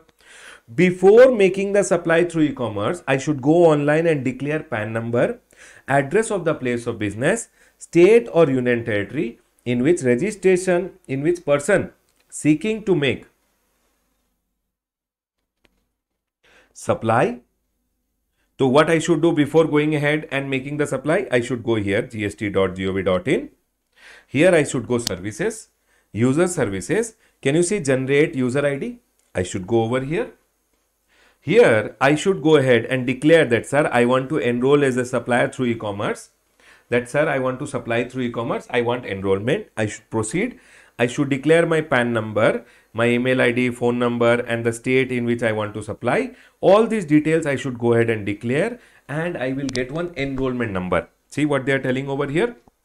On validation means once you declare, you will be given one enrollment number shall be granted and only one enrollment number shall be granted in a state or UT. No supply to be made before such enrollment is granted. Means before you are granted any enrollment, you should not make any supply. So sir, now tell me one thing. If the supplies are coming under section number 95, then what will happen? Sir, if the person, if the supplies are coming under section number 95, those services are the transportation, housekeeping, accommodation and restaurant services. Transportation, housekeeping and transportation of passenger by radio, taxi, maxi cab, motor cab, motorcycle, etc. Housekeeping service not person beautician service नहीं housekeeping plumber electrician all the deep cleaning services house related services ठीक है? Accommodation service and restaurant service this four services I have already gone ahead and explain you leave this four services this four services में either supplier will be liable और the e commerce will be liable whenever e commerce will be liable e commerce will take compulsory registration barring this four services now if any other goods and service if you are person. Supplying through e-commerce means you are going ahead and supplying through an e-commerce operator. You are required compulsory registration they told. But then to, they told if you are a supplier of service or supplier of goods you have to see. If there is a person who is supplying services through e-commerce then exemption has been granted. Up to 20 lakh or 10 lakh you can provide services through e-commerce. You will not be required compulsory registration. But if turnover is more than registration limit means it crosses 20 lakh or 10 lakh then you are required compulsory registration. Okay supplier of goods. If your aggregate turnover is more than registration limit compulsory registration. But if your aggregate turnover is less than equal to registration limit means 40 lakh 20 lakh or 10 year 10 lakh in current year or last year then you will be exempted but remember when you are exempted you have to fulfill some condition you should make only intrastate supply. See over here. Exempted subject to the following condition. You, such person shall not make any interstate means you should supply only within the state. Shall not make supply of goods through e-commerce in more than one state or UT. You should not supply in more than one state you shall be required to obtain PAN and before making supply through e-commerce, declare the PAN number, address of the place of business and the state or union territory which he the person makes wants seeks to make supply. All this you have to declare on the portal. Portal will now give you once the portal has checked everything it will give you enrollment number. One enrollment number will be granted in a state or union territory and you should not make any supply before the enrollment number is granted to you. That's all they have gone ahead and told. You should not go ahead and make any supply before enrollment number is granted. Done. And sir, tell me one thing. If my aggregate turnover is more than registration limit, supplier of goods or service. So for an example, I am supplier of service or I am a supplier of goods and my aggregate turnover is more than registration limit. Then sir, if I am supposingly supplying through Flipkart, one person went to Flipkart, Flipkart's order came to me, I am disposing the order, this person will make the payment, Flipkart will deduct TCS, Flipkart will deduct TCS, Flipkart will pay the TCS to the government and government will give me the credit, correct sir?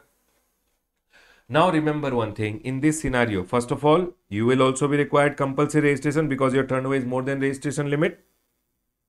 Compulsory registration and Flipkart, because it has to deduct TCS, they have told a person who is required to deduct TCS also will be required compulsory registration. I hope this point is clear to all of you. Please come to the chart. So now you have to remember who are the people who are required to take compulsory registration. Number one, if you are an interstate supplier, interstate supplier has to take compulsory registration. Handicraft goods, craftsman goods was already exempted that is still there. Supplier of services exempted. This was already there. There is no point uh, there is no additional point. Casual taxable person required compulsory registration. Handicraft goods wala was exempted up to 20 lakh 10 lakh. Person if you have to pay tax under rcm you are required compulsory registration. This point was also done. Here the additional point came. Whenever e-commerce operator has to pay tax under section number 95 we have already learned 95 this is the additional point. Then e-commerce has to go ahead and take compulsory registration and pay tax under section number 95. This point we have understood. This is THAR service, THAR, THAR the car, transportation, housekeeping, accommodation, restaurant service. Whenever e-commerce is liable to pay tax, e-commerce has to take compulsory registration. NRTP we had already understood. TDS deductor. Please refer to the TDS TDS wala chapter. TDS deductors those government departments also has to take compulsory registration. Agent wala point if i am supplying on behalf of a taxable person i am an agent i also have to take compulsory registration. This point was already there.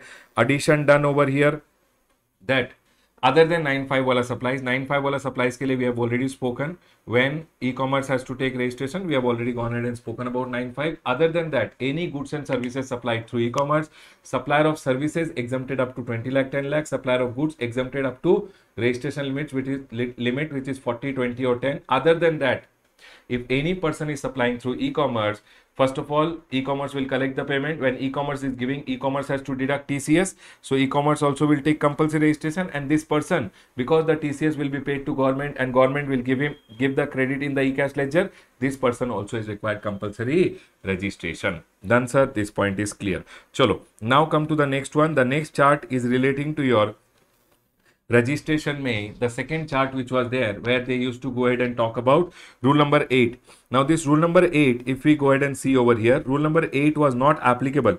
Okay. Uh, compulsory registration wala additional point who are the who are the people who are required compulsory registration services wala exempt goods wala people exempted tcs uh, collector section number 52 may e-commerce also has to take registration the summary has been written over here.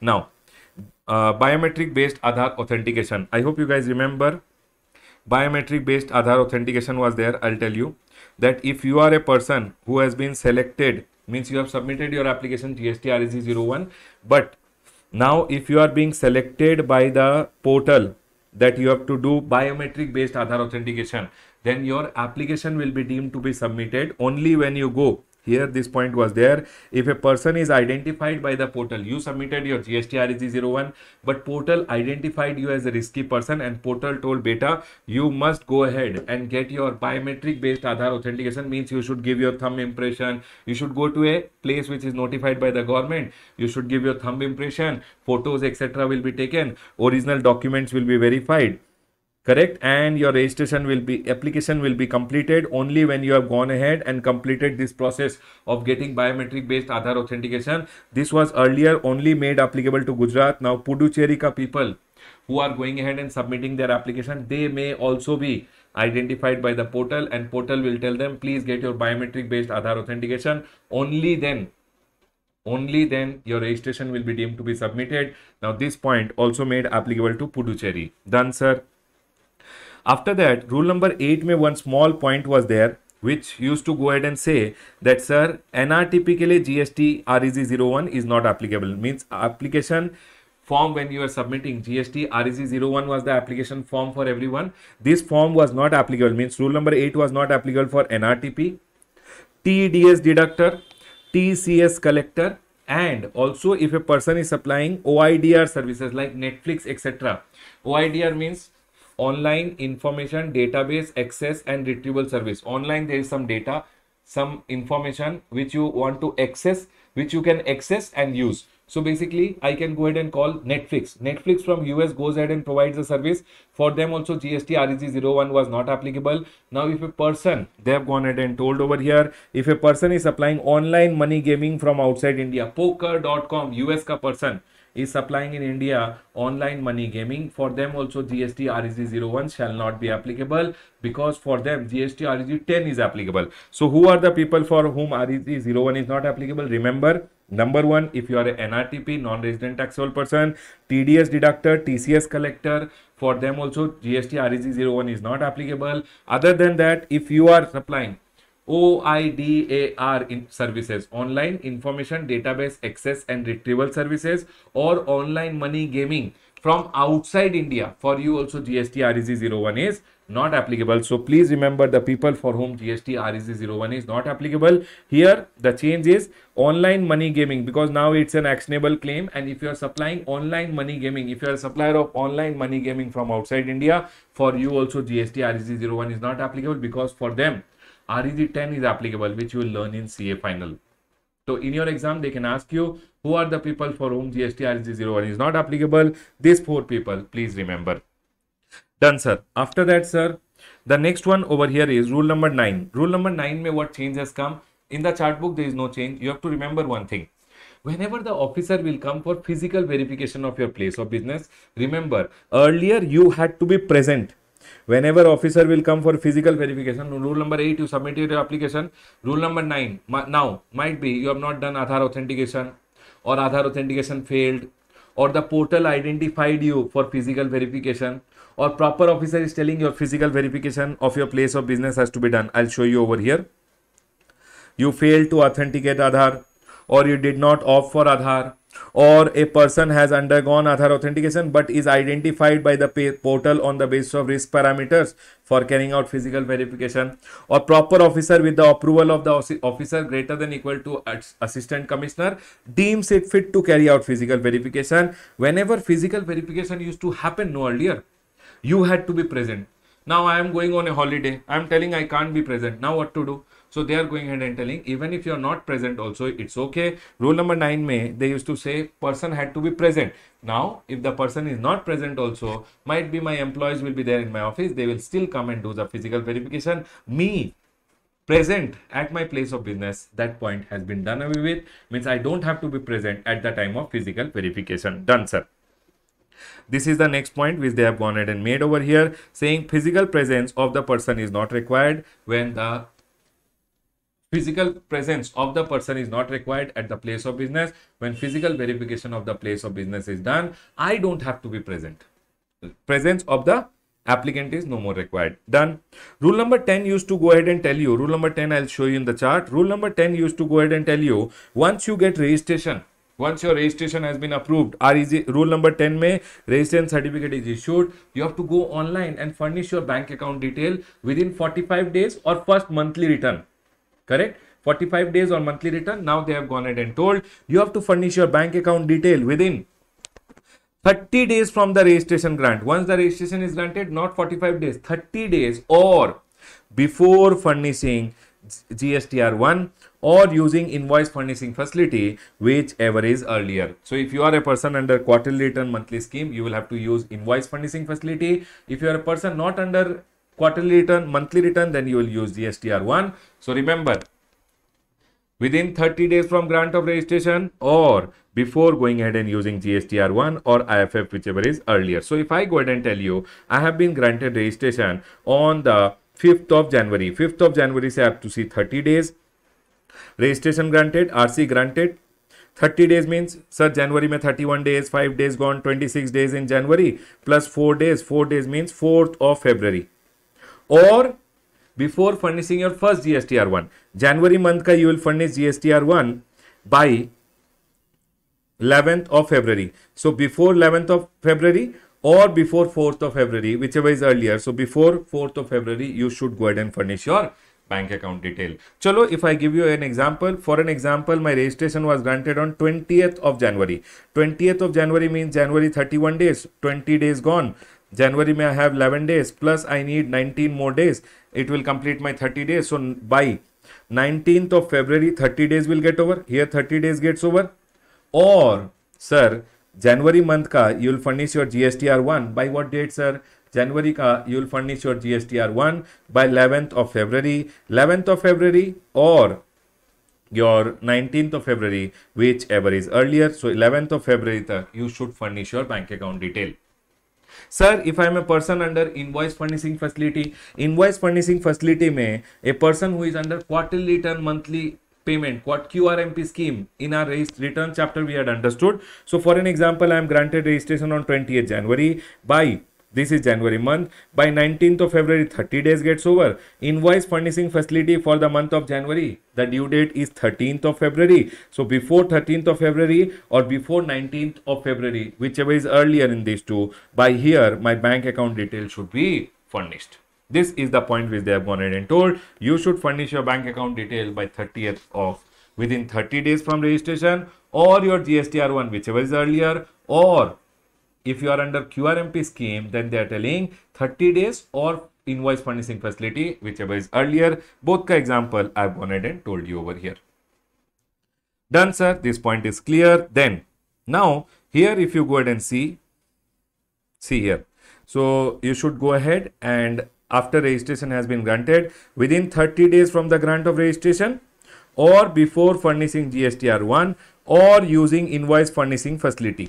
If you are a person under QRMP scheme, you will use invoice furnishing facility. Whichever is earlier, you should furnish your bank account detail on the common portal. That's all has been told.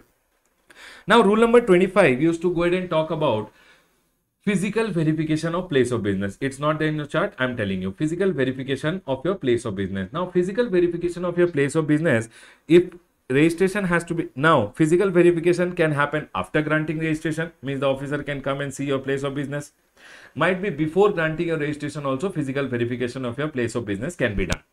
Officer can come. So now here one and two there are small changes. Understand this. What are they going ahead and telling? They are telling if supposingly your registration is granted and after that the officer wants to do physical verification where proper officer is satisfied that physical verification is required to be done after granting registration he may get such verification of place of business done and verification report which is GST REG 30 along with other document whatever your Aadhaar card, PAN card which he has taken when he came for physical verification including photograph shall be uploaded in REG 30 on the common portal within 15 working days from the date of such verification. For an example, you are already granted registration. I was already granted registration, but PO had some doubt. Proper officer had some doubt. So he told I will go for physical verification. He came for physical verification. He came and saw that are you actually doing business or not. He took photograph of your place of business. He took uh, your documents, etc. He took your photograph. Now this physical verification, one report is there, GST REG 30 Within how many days of physical verification of your place of business, he should upload this report. If registration was already granted and after that they have come for physical verification, this report should be uploaded within the next 15 working days. GST REG 30 officer should go ahead and upload this report on the common portal within 30 15 working days. Done. Okay. Sir, what if I am not yet granted registration, but officer wants to do physical verification of my place of business. Sir, before granting registration also, they can do physical verification of your place of business. Sir, when they can do, I will show you here. Before granting your registration, you have failed to do Aadhaar authentication. Your Aadhaar authentication failed or you did not opt for Aadhaar authentication or a person has undergone Aadhaar authentication but you are identified by the portal because as a risky person on the basis of risk parameter and they are telling your physical verification has to be done of your place of business. Or proper officer deems it fit to carry out physical verification. In this four scenario before granting registration before granting registration they have to go ahead. Before registration certificate is granted they have to do physical verification. They can do physical verification but the report has to be uploaded So now if you go ahead and see over here, within 30 days of the submission of application, they have to grant you registration. So when these 30 days are grant, so here you submitted application. Now within 30 days, they have to grant you registration they have to complete physical verification and five working days prior only this physical verification report has to be uploaded five working days prior five working days prior to the completion of the time limit. And the time limit is 30 days. So before that 30 days five working days prior only he has to upload the physical verification report. So sir physical verification if it is done before grant of registration. So before granting registration, whatever is the time limit to complete the physical verification and give you registration, five working days prior, he should upload physical verification report in GST REG 30. Sir, if it is done after registration is granted, if after he wants to do physical verification, might be for any reason, officer thinks that your place ka physical verification has to be done because it was not done before, now he wants to do.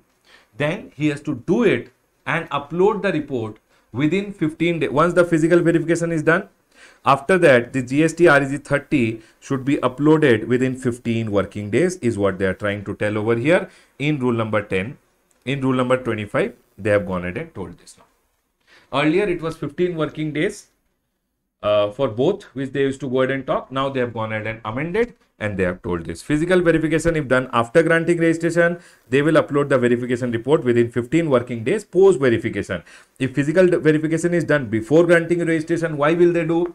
Did not opt for Aadhaar, Aadhaar authentication failed, portal has identified you as a risky person, or officer has identified you that your physical verification is to be done, then Remember one thing, prior to the completion of that time limit, which is told under rule number 9, which is basically 30 days, 5 working days prior to the completion of the 30 days, 5 working days prior only, this GST REG 30 physical verification report should be uploaded on the portal by the officer. That's all they have gone ahead and told over here. Done, sir. This point is clear. I hope you guys remember suspension. Now, please come to the next chart on suspension, chart number 10. Here, rule number 21A is there, which used to go ahead and say when your registration will be suspended. 1 was there, 2 was there, 2A was there. Here, they have gone ahead and upload, put one point number B also. What is point number B telling? Point number B is telling if you don't upload your, if you don't go ahead and provide your bank account detail, Baba bank account detail should be given within 30 days or GSTR1 or invoice furnishing facility, whichever is 30 days may or before making your GSTR1 or IFF, whichever is earlier. You have to go ahead and furnish your bank account detail. Now, what if I did not furnish? They are telling one to was already there that we can cancel your registration. But before cancelling your registration, which is told in section number 29, what they are telling is we will go ahead, portal will automatically actually go ahead and suspend your registration. They are telling there is a contravention of provision of 10A, then then also they will go ahead and suspend your registration. Now, sir, my registration is suspended. Do one thing before your registration gets cancelled. Run, Baba, run. Go online and furnish your bank account detail. Registration suspension will be revoked. That's what they have gone ahead and told. Over here now, see. A person suspension. Sir, to a point may they have added over here whenever your bank account details are not furnished within the time limit basically as per 10a which I have just now taught it to you. Rule number 10a may they told you should furnish your bank account detail within 30 days or first GSTR1 or making your invoice furnishing facility whichever is earlier. If you don't furnish your bank account detail they will suspend your registration but the registration suspended for contravention of 10a and the registration has not been cancelled by the officer the suspension shall be deemed to be revoked upon compliance with 10a means run baba run furnish your bank account detail and registration cancelled will be registration suspended. The suspension will be revoked and you can continue your business no tension. But if registration is cancelled then then you have to go for revocation section number 30 but if registration is not cancelled only your registration has been suspended because bank account details are not furnished. Run baba run. Go online submit your bank account detail and registration suspension will be revoked. Done sir after that, in revocation, they have gone ahead and made a change. I'll show it to you from the chart book directly. Here. Here, suspension ke liye, earlier the time limit was, you should apply for suspension within 30 days. additional commissioner, joint commissioner can extend by 30 days and further extendable by 30 days it was like this that 30 days may you should apply. If you could not then 30 days extension will be given. Again 30 days ka extension can be given. Now they have deleted this and they have told 90 days may you should apply for revocation. It means if your registration is cancelled under section number 29 and you are sir please don't cancel my registration go online and baba revocation ke liye apply not 30 days now within 90 days. It was earlier 30 days now it is made 90 days and they are telling even within 90 days if you can't apply you will be given extension and that extension can be given by commissioner or any person authorized by the commissioner for a further period not exceeding 180 days means additionally you can be given 180 days to go ahead and file for revocation. So, sir, revocation ka time limit of 30 days now made 90 days and additionally 180 days ka time limit can be granted. Additionally, 180 days ka time limit can be granted by the commissioner or a person authorized by the commissioner. That's all is the change over here which has come in your registration ka chapter. Number one, section number 24, additional point now. What are the additional points which have come? Here, one, two, TDS deductor, three persons applying through e-commerce or if you are e-commerce was to deduct TCS compulsory registration four more point added ठीक है sir other than that rule number 8 I went ahead and told you rule number 8 is not applicable for persons applying online money gaming also from outside India for them also rule number 8 is not applicable rule number 9 verification when it is happening of your place of business even if you're not present it's okay rule number 10a bank account details to be furnished within 30 days or GSTR1 or furnishing your invoice furnishing facility, whichever is earlier. Okay, sir. Rule number 25, I told you about by physical verification report. Done, sir. Suspension. Now remember, if you don't go ahead and furnish your bank account detail as per rule number 10A, your registration will be suspended. But sir, what if before cancellation only I went ahead and put my bank account detail? Suspension will be revoked. And sir, revocation whenever your registration is cancelled if you want to apply for revocation 30 days now made 90 days directly further extendable by 180 days done sir point is clear that's all was the amendment in the chapter of registration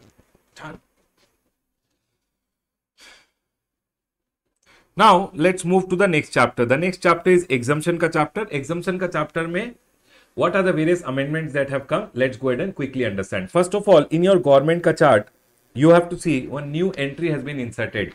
What is the new entry? If you are going ahead and providing these services to a governmental authority, if you are providing these services to a governmental authority, then remember water supply, public health, sanitation convergency, conservancy, sanitation convergency, solid waste management, slum improvement and upgradation. If these services are provided by you, basically water supply related service, public health related service, sanitation related service, solid waste management related service, slum improvement and upgradation related service. If you are providing to governmental authority, not to anyone, governmental authority, then that service shall be exempt. Other than this, now government related services were there wherein if government is providing services to a business entity business entity had to pay gst under rcm now there they have gone ahead and told other than ministry of indian railway because i have already told you ministry of indian railways ka service pay forward charge. Government providing services to a business entity who is small sir small business entity in that case exemption was there. But indian railway has been exempted because indian railway ka services pay forward charge is there. Government providing to government services gst was not there. Other than this services. Here ministry of railways has been included because ministry of railways ka service also forward charge will come.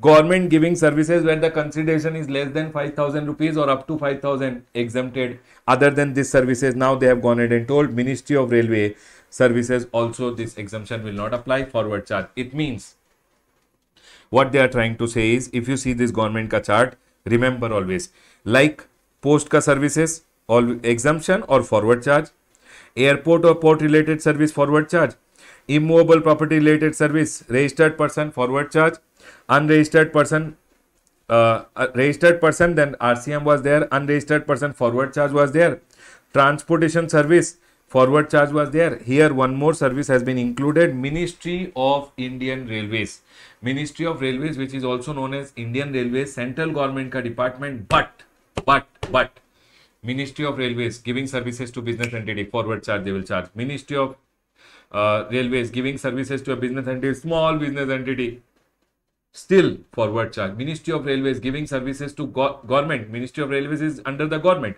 central government, giving to another government, still forward charge.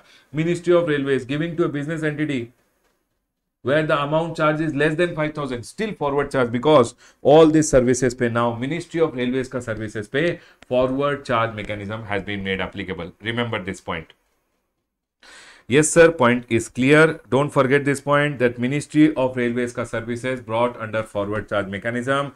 No more reverse charge mechanism. Although Ministry of Railways are under the government, but they will charge GST under forward charge. But sir, tell me one thing.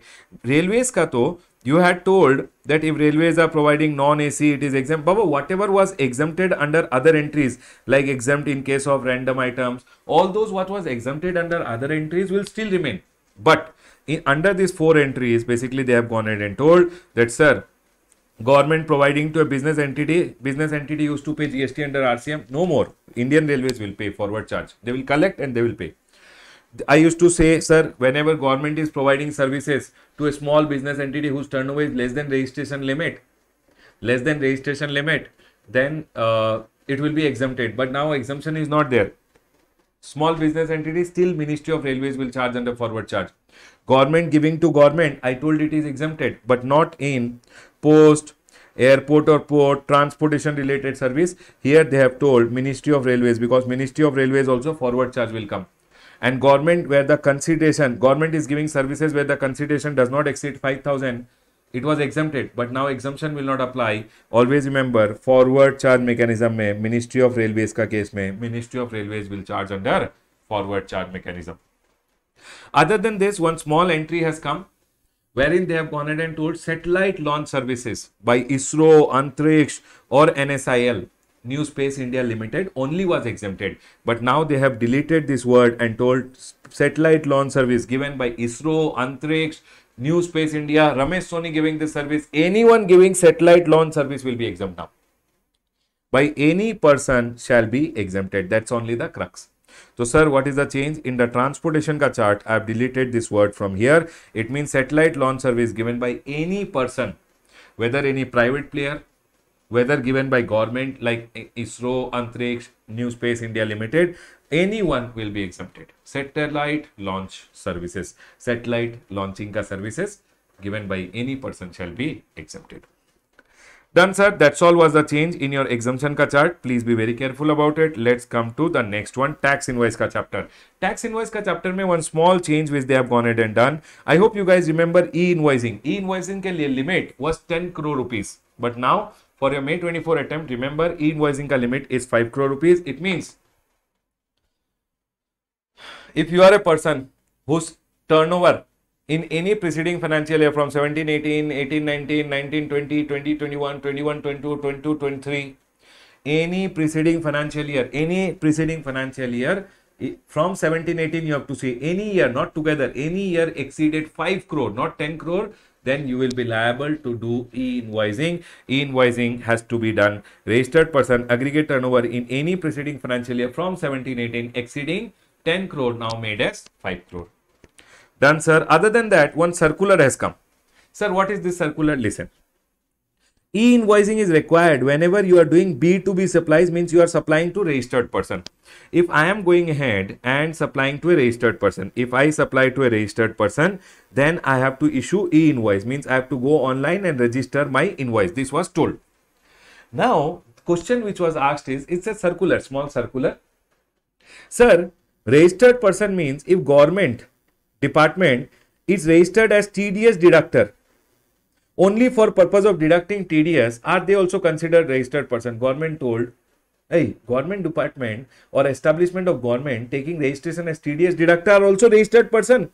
So when you are issuing an invoice to any registered person, whether it is government department registered as TDS deductor also, please issue e-invoice. That's all is the circular which has come.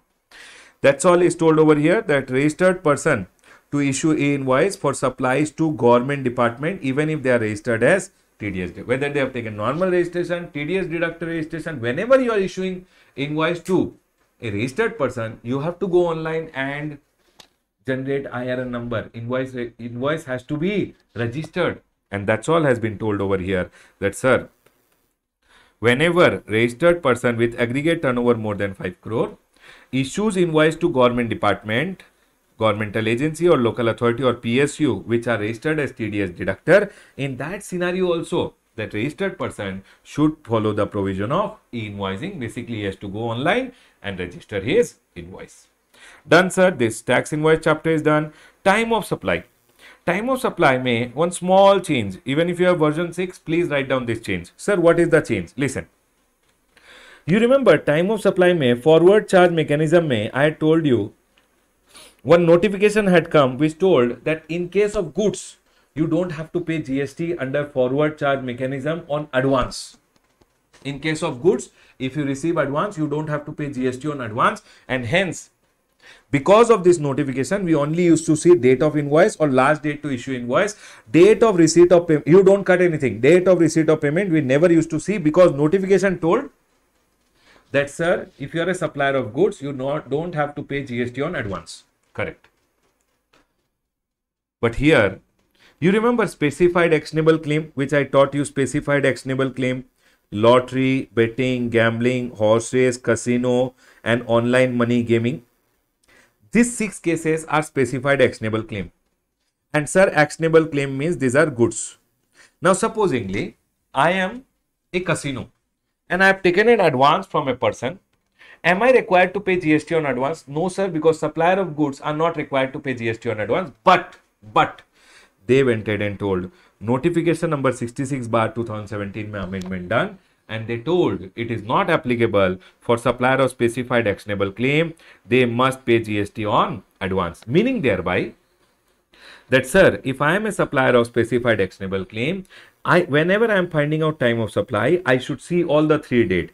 Date of invoice, last date to issue invoice or date of receipt of payment, whichever is earlier, I have to pay GST, meaning thereby that these people have to pay even if they receive any advance. So sir, can you tell me if I am a supplier of goods, I am to pay GST under forward charge, then what, what date should I see? If we are a supplier of specified actionable claim, which is lottery, betting, gambling, horses, casino, and online money gaming, OMG, then remember you have to go ahead and pay GST as per this date of invoice, whatever date of invoice is there, whatever is the last date to issue invoice, last date to issue invoice, I'd always told you, sir, here I told you either on removal delivery making available or whenever you issue statement or whenever payment is received yes sir. Or the sir date of receipt of payment whichever is earlier but if you are not a specified actionable claim means normal supplier of goods then for them they see only date of invoice and last date to issue invoice date of receipt of payment was not required to be followed by them and earlier of these two you have to go ahead and pay GST. that is the time of supply in case of forward charge mechanism. This is the change. Done, sir. This point is clear. Remember this point, and that's all is being told that if you are a supplier of specified actionable claim, which is supply of goods, so you shall pay at the time of receipt of payment from such supplier by the supply that is on advance also it means if i'm a supplier of goods actionable claim then i have to go ahead and pay on date of invoice last date to issue invoice or date of receipt of payment whichever is earlier. But if i am not a supplier of actionable claim other than supplier of goods other supplier of goods other than actionable claim then date of invoice or last date to issue invoice date of receipt of payment i don't have to pay any amount on the date of receipt of payment even if that is received in advance. So i have to see whichever is earlier in this.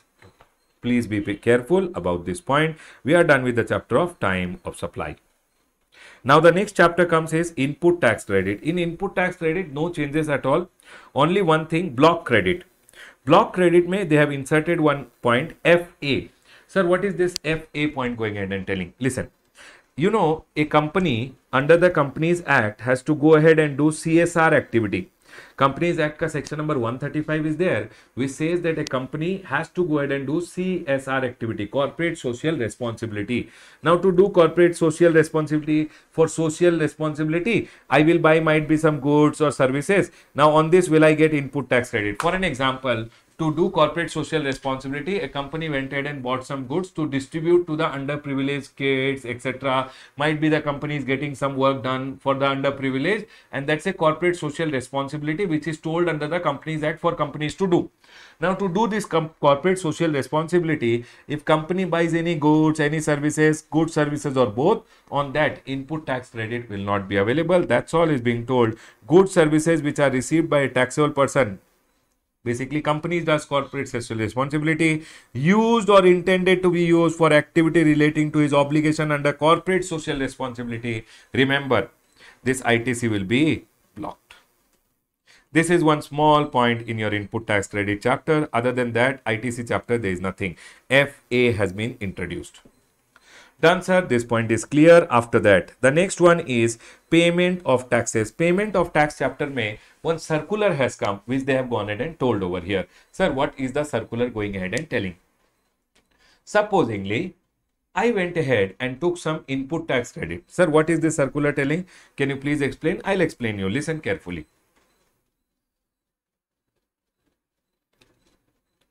ITC wrongly availed Sir, wrongly availed means might be I did not have some invoice only, but I went ahead and took the credit. You should take the credit only when you fulfill the condition under section number 16, which means you should have the invoice. I did not have the invoice. I took IGST wrongly, 1 lakh rupees, and might be I had an output tax liability. Supposingly, I had an output tax liability, and I also had balance in my e-cash ledger. In my e-cash ledger, supposingly, uh, I have in my e-cash ledger, okay, output tax liability was there 1 lakh rupees.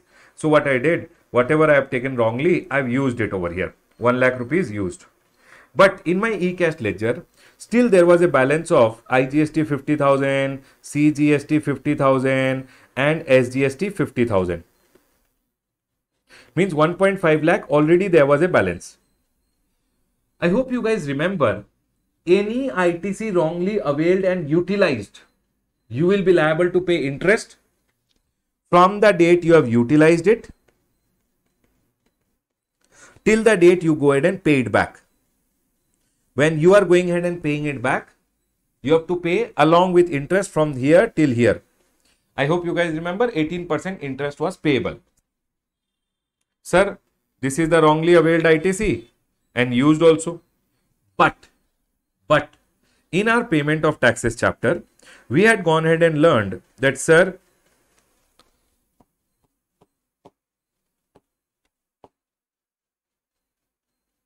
one minute. Huh. You will have to go ahead here, everyone. Interest on ITC wrongly availed and utilized shall be calculated from the date of utilization till the date of reversal or payment of tax. Till the day you go ahead and reverse, you have to pay. It means I have to pay from the date of utilization till the date of reversal. But, sir, what if I already have a balance in my e-credit ledger of 1.5 lakh, which is 1 lakh or 1.5 lakh, which is IGST, CGST and SGST put together. Now, if I go ahead and tell you, we had gone ahead and learned this rule number 88B. In rule number 88B, it is written that it will be considered that you have used your credit which you have wrongly availed. You have used it only if you are when you read rule number 88b you will see this. Only if your e credit ledger balance falls below the itc wrongly availed. It means it will be considered that you have used the wrongly availed credit. You have used it only if e-credit ledger balance is below the wrongly availed credit. Sir, I took wrongly 1 lakh rupees. Okay? But in my e-credit ledger balance, if you see, even after using 1 lakh rupees, I still have 1.5 lakh. So can we go ahead and say like this, that whatever I, I already had 1.5 lakh. So sir, will it be considered that I have used the wrongly availed credit? I already have 1.5 lakh. So they are going ahead and telling if here CCC, what they are telling over here in the circular. In case wrongly availed IGST credit by a person and reversal thereof on calculation of interest under rule number 88B, whether the balance of ITC available in the credit ledger under the head IGST only needs to be considered or total IT, ITC balance under the head IGST, CGST, SGST taken together has to be considered. It means you tell me one thing. I have gone ahead. I have gone ahead and ITC wrongly availed is 1 lakh rupees. But my e-credit ledger balance always had total put together more than 1 lakh rupees. So will it be considered that whatever wrongly I had availed the credit, I've used that credit? So they are going ahead and telling it will not be considered that you have used the credit because you already have that much amount of uh, credit lying with the government. Because when you read rule number 88B, rule number 88B says if you took some credit, listen carefully, rule number 88B is telling this. If you took some credit wrongly, for an example, 1 lakh, it will never be deemed that you have utilized it unless, unless your e-credit ledger balance falls below 1 lakh. So tell me one thing, if my e-credit ledger balance put together is always above 1 lakh, will it be ever considered that I have utilized the credit? 1 lakh rupees, okay, I took wrongly. I have used it over here, but they will not consider it as used because you will say, sir, why will I use the wrong credit?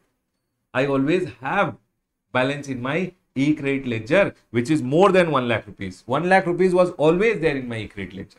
I hope this point is clear. And hence, when you are reversing this 1 lakh rupees, you are paying it back to the government. You don't have to pay any interest. So, I'll ask you one more question. Might be if you are confused, you will understand now.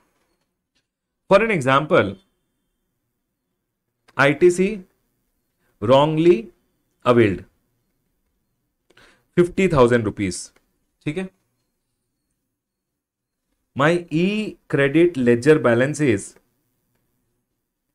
IGST 30,000, CGST 30,000, SGST 30,000. Already my e-credit ledger balance has this, is there in my e-credit ledger. I wrongly took it. I wrongly took this amount, 50,000 rupees credit I took on an invoice, but I did not have the invoice. My mistake, I took the credit. Okay.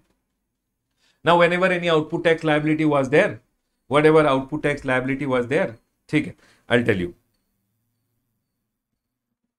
For example, I took 50,000, so it became uh, 80,000 rupees over here.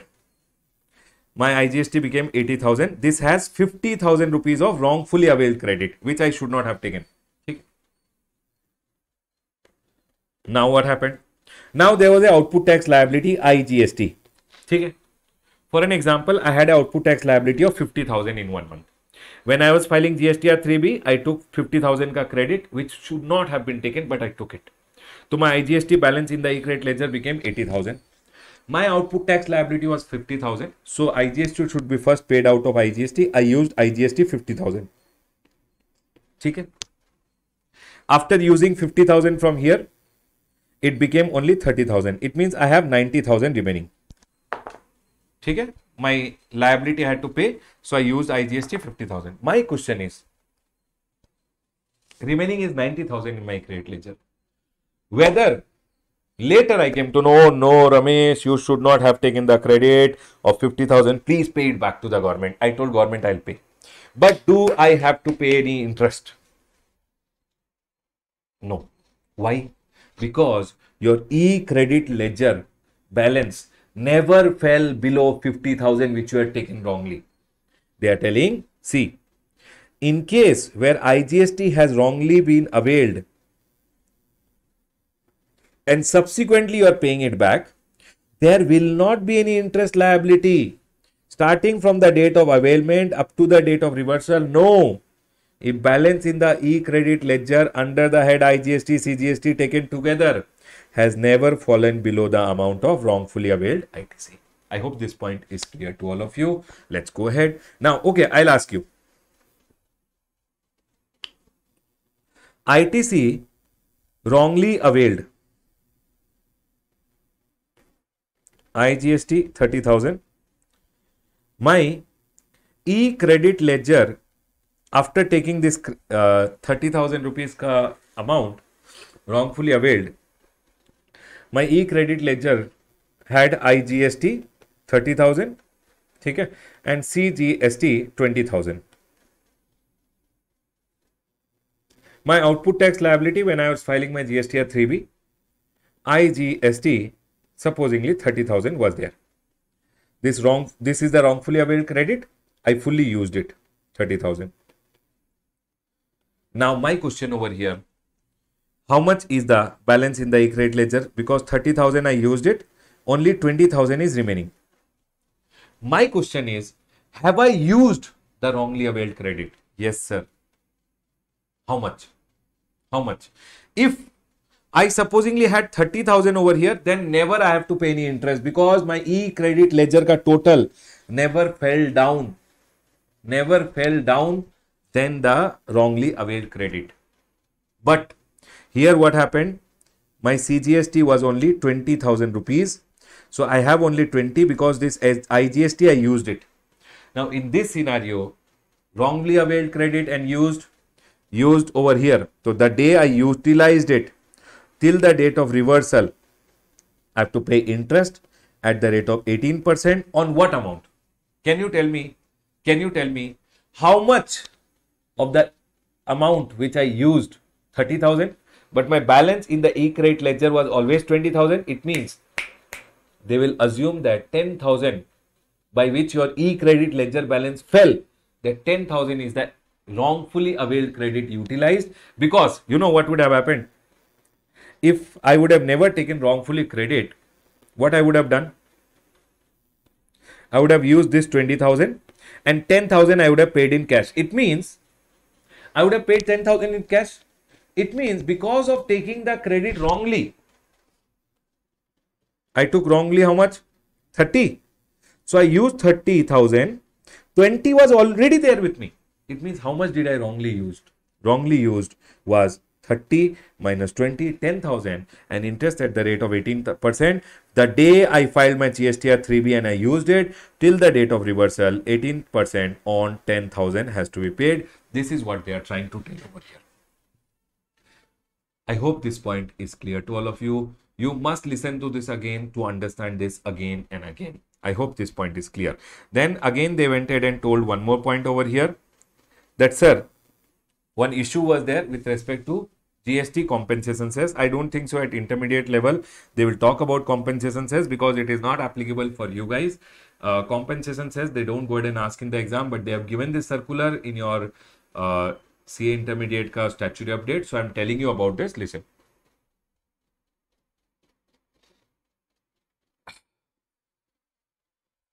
for an example in my I T C balance in my GST e credit ledger GST compensation cess is fifty thousand ठीक है?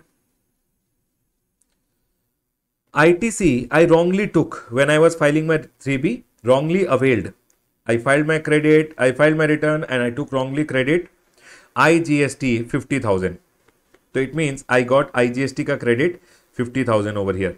Might be when I was filing my return, my output tax liability over here was uh, IGST supposedly 50,000 output tax liability. I use this ITC which I had wrongly taken 50,000 and I paid zero to the government. My question over here, do I have to pay any interest?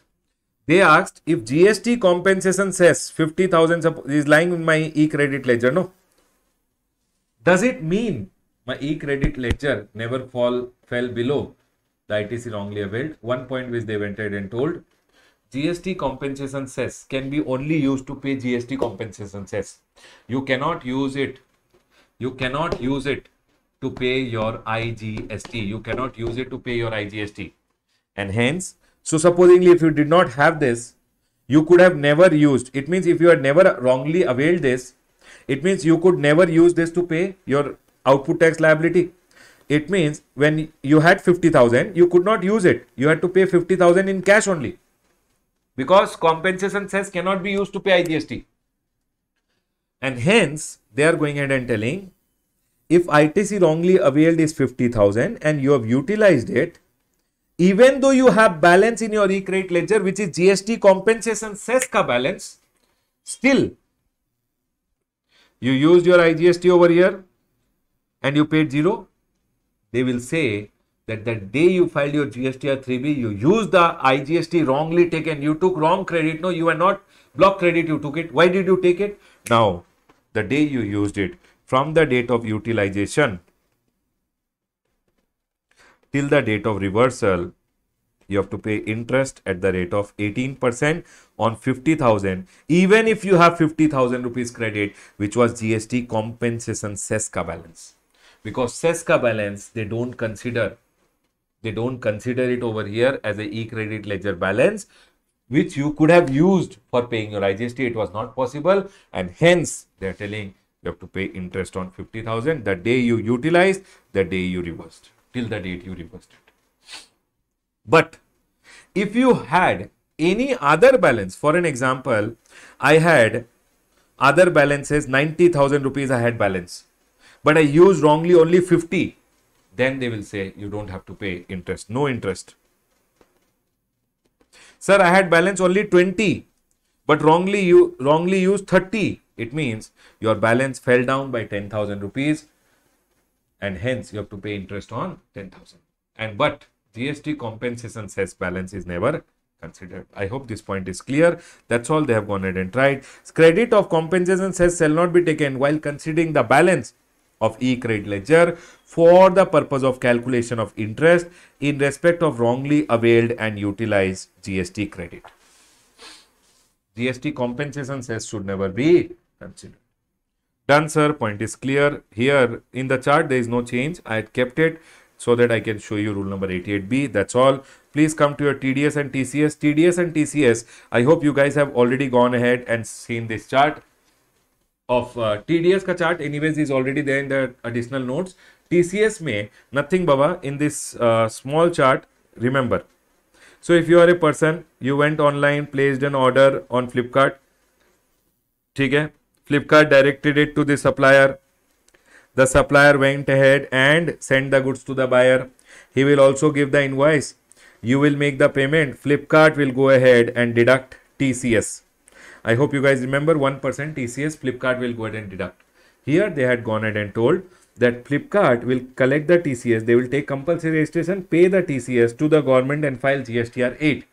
Now one point which was told that government will make this available on your dashboard you will have to click saying ha sir it is correct and the amount will come in your e-cash ledger tell me one thing who has e-cash ledger only a registered person so remember one thing remember one thing if you are a person supplying goods or services and your turnover is less than registration limit you can supply through e-commerce without registration it means if you are an unregistered person e-commerce will not deduct tcs only but if you are a registered person, only then e-commerce will deduct TCS paid to the government. So here they had told made available to the supplier on dashboard. It will be made available to whom? Supplier. Which supplier will get the credit? So here the word supplier has been re replaced with registered supplier. That's all has the change come over here. See, rule number 67 used to talk about TCS ka point where they have gone ahead and told the details of the TCS which has been deducted by the e-commerce shall be made available not to supplier. It shall be made available. Earlier the word was supplier. Now it shall be made available to registered supplier they are telling. Because if you are a person who is unregistered, anyways you will not get credit. Anyways, you will not be going ahead and uh, e-commerce will not be going ahead and collecting TCS anyways. So always remember one thing. This person went and placed an order order came to you, you went ahead and supplied. If you are an unregistered supplier of service or you are an unregistered supplier of goods, e-commerce will not deduct TCS. Remember this point. Unregistered supplier ke liye, e-commerce does not deduct TCS. Here I have told. If supply is unregistered, TCS will not be deducted. But sir, if supply is registered, then e-commerce will take compulsory registration. This i have told over here. E-commerce has to take separate registration. Here here sorry. E-commerce has to take registration. E-commerce will deduct tcs e-commerce will file gstr 8 there e-commerce will say that this this this supplies were done for which we have collected tcs it will come to your dashboard. Whose dashboard? Only registered supplier ka dashboard. You will have to click saying, ha sir, this TCS was deducted and the amount will come to your e-cash ledger. In this chart, only suppliers to be made as registered supplier. I hope you have seen the TDS and TCS wala chart before completely before coming and seeing these lectures. Done sir, point is clear. Other than that, nothing. And sir, anyways, if the supplies are covered under section number 9.5, in those supplies also TCS is not applicable. These points were anyways discussed. Chalo, please come to the next chapter. The next chapter is returns ka chapter. Sir, in returns ka chapter was they have gone ahead and done. Nothing.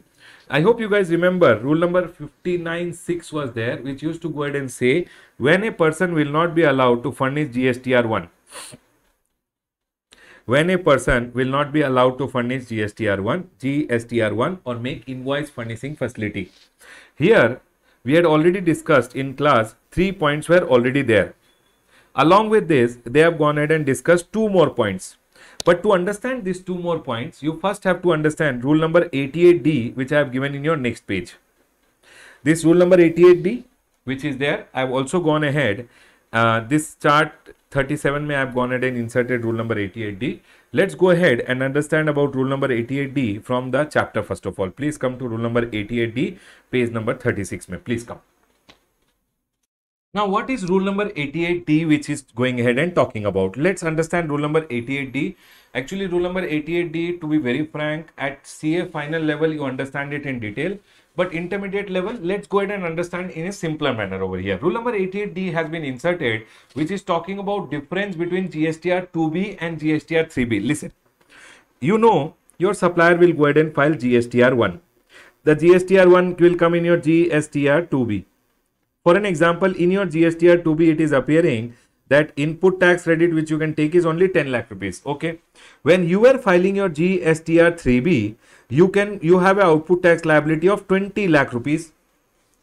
What is the input tax rate? 10 lakh. So you can't go ahead and take more than the amount which is appearing in your gstr 2b supplier filed gstr 1 that amount came in your gstr 2b you should take input tax credit maximum 10 lakh rupees. You know what you did. You thought hey remaining 10 lakh to have to pay in cash. Who will pay in cash? I will take input tax credit wrongly. You took input tax credit 20 lakh rupees. You took it. You should have taken only 10 you took 20 तो when you take such kind of credit in your G S T R three B you took more credit than what is appearing in G S T R G S T R three B you took more credit than what was actually coming in your two B for this difference you will get one intimation in G S T D R C C over here G S T D R C zero one C zero one C one intimation will come ठीक है? Now, when this intimation will come, they will tell, hey, notorious boy, why will they give? Because there is a difference in your GSTR. 2B, what credit you should have taken, and in 3B, what credit you took. You took more credit. So they will give you a love letter, intimation. Now this intimation when it's once it's come, then Baba, you will have two options. So it is telling over here. I've written the summary which you should be reading. Where the ITC availed in GSTR 3B for a tax period exceeds the ITC in GSTR 2B by such amount and percentage as may be recommended by the council. Council will tell how much more it should be for that you to get a love letter. As of now, you think the council has told that if you have taken more credit than what was appearing in GSTR 2B, the registered person shall be intimated in part A of GST DRC 01 means one intimation will come, letter will come.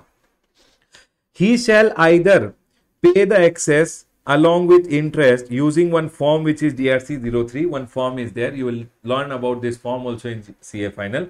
So, and furnish the details thereof in part B means pay by using the form DRC03. Once you pay, inform the government using part B in GST DRC01C, part A may intimation will come. Part B may you will reply. Part B of GST DRC 01C may you will reply saying, Sir, payment done and I am informing you that I have done the payment. Sorry, sir. Or or furnish a reply incorporating reason why excess ITC remained unpaid within 7 days. Or number 1 pay which form to use while making the payment there is online one form called GST DRC03 I'll talk about it in CA final okay either pay and inform the government. So simple you can remember pay and inform or just inform. I will not pay. You can tell your reason sir it was only coming 10 lakh but I was eligible for 20 you can inform the reason. Or just reply informing the reason for the difference. Reason. In GST DRC 01C ka part B only you have to reply. This part B you can use and reply or when you make the payment also you can inform by using part B of GST DRC 01C I have done it. You have to say I have paid the difference or you reply explaining your reason. It should be done within 7 days. Within how many days? Either of these should be done within 7 days or either pay and inform or just reply whatever you want to tell and you should do it in 7 days. If rule number 88D says where any amount has not been paid within 7 days and no explanation is furnished by registered person or where explanation is not found acceptable by the PO either you did not pay or you paid and gave explanation paid and gave explanation saying sir half I have paid half I have not paid or whatever you did not pay only and you gave explanation he did not like it officer will get angry over here. He will become angry bird not smile. He will become angry bird and he will be giving you one love letter demand order right? Take demand. Make the payment of the demand otherwise we'll hang you upside down and recover. Done. So sir what is rule number 88d remember i have written in a simpler manner in your chart. Because at c intermediate level, you should remember only this much. Manner of dealing with difference in 2B and 3B, whatever ITC you have taken in 3B. Where the ITC availed by a registered person for a tax period furnished by him in 3B exceeds the ITC availed in 2B. Whatever was appearing in 2B, you took more than that. Whatever is appearing in 2B, you took more than that ITC you took. Then, a by such amount and percentage as may be recommended by the council, the registered person shall be intimated, intimated in DRC 01. So as of now, you don't have to remember DRC 01C. You can remember you will be intimated of such difference on portal and email, highlighting the difference, directing him to pay the excess ITC with the interest or explain the reason within 7 days. The registered person can either pay and inform them along with interest you have to pay. You took wrong, no. The day you took the wrong credit and you used it, from that day till uh, reversal, you have to pay interest at the rate of 18% or furnish a reply in respect of the excess ITC which has remained unpaid within 7 days. Means whatever ITC you took, either pay it off and inform them or don't pay and give the reason where any amount remains unpaid or where no explanation or reason furnished by the registered person where you did not pay also did not give explanation or explanation is not good you're telling this is my explanation they did not like then they will go ahead and demand the amount. Now what is rule number 88d connected over here? What they are telling is a registered person who has received an intimation under 88d in respect of a tax period might be for a month shall not be allowed to furnish GSTR1 or invoice furnishing facility. GSTR1 next month 11. Invoice furnishing facility when you are under QRMP scheme by next month 13th you have to do. You will not be allowed for the next month GSTR1 also, IFF also for a subsequent tax period unless he either pays the amount specified or he gives a reply explaining the reason in respect of the excess ITC that is unpaid. Means if you don't reply within 7 days or don't pay the difference which they have told you to pay within 7 days, either within 7 days you did not pay also, you did not give reason also, then they are telling, sir, we will block your GSTR1 or invoice furnishing facility from the next month. So this is one more reason when your GSTR1 or invoice furnishing facility shall be blocked. Done. One more reason why they are telling a, registered person shall not be allowed to furnish GSTR1 or invoice furnishing facility if he has not furnished the details of the bank account as per rule number 10A. Rule number 10A went ahead and told you before going ahead and within 30 days of grant or before your first GSTR1 or IFF, furnish your bank account detail. You did not furnish your bank account detail. Huh? Notorious boy, not furnishing bank account detail. They will tell over here, your boy or girl, okay? Not T boy or girl, your GSTR1 or IFF will be blocked. You will not be able to file GSTR1 also IFF if you don't go ahead and furnish your bank account detail within 30 days or first GSTR1 or IFF. If you don't do it, then they are telling sir provision of rule number 10 is violated. Now remember and bank account detail and now next month ka GSTR1 or IFF when you're trying to furnish, they will not allow it to you. Here are the five reasons. Please remember this reason when your GSTR1 or invoice furnishing facility will be blocked. Other than this, one more point. Annual return was exempted for people with aggregate turnover up to 2 crore for 2021, 21, 22. Now this has been told for 22, 23 also. So for the uh, year 22, 23, if your turnover has not crossed 20, uh, if your not turnover has not crossed 2 crore rupees, you are not required annual return. This point has now been made applicable for the year 22-23 also. And rule number 88D introduced, which I have already gone ahead and spoken over here. That sir, whenever there is a difference, you will be intimated. Either pay and inform or just give a reply within seven days. If you don't give a reply or don't pay and inform, then they all uh, you don't pay or you don't give a reply, they are going ahead and telling GSTR1 or IFF will be blocked.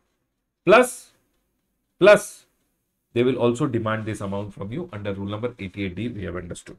Done, sir. This point is clear. Now we are done with our chapter of returns over here. Okay, sir. This point is clear. Earlier, earlier, I think this rule number 88C I had given under payment of taxes chapter. Now I've, I've written it down over here. It's not a change. This was already explained earlier also.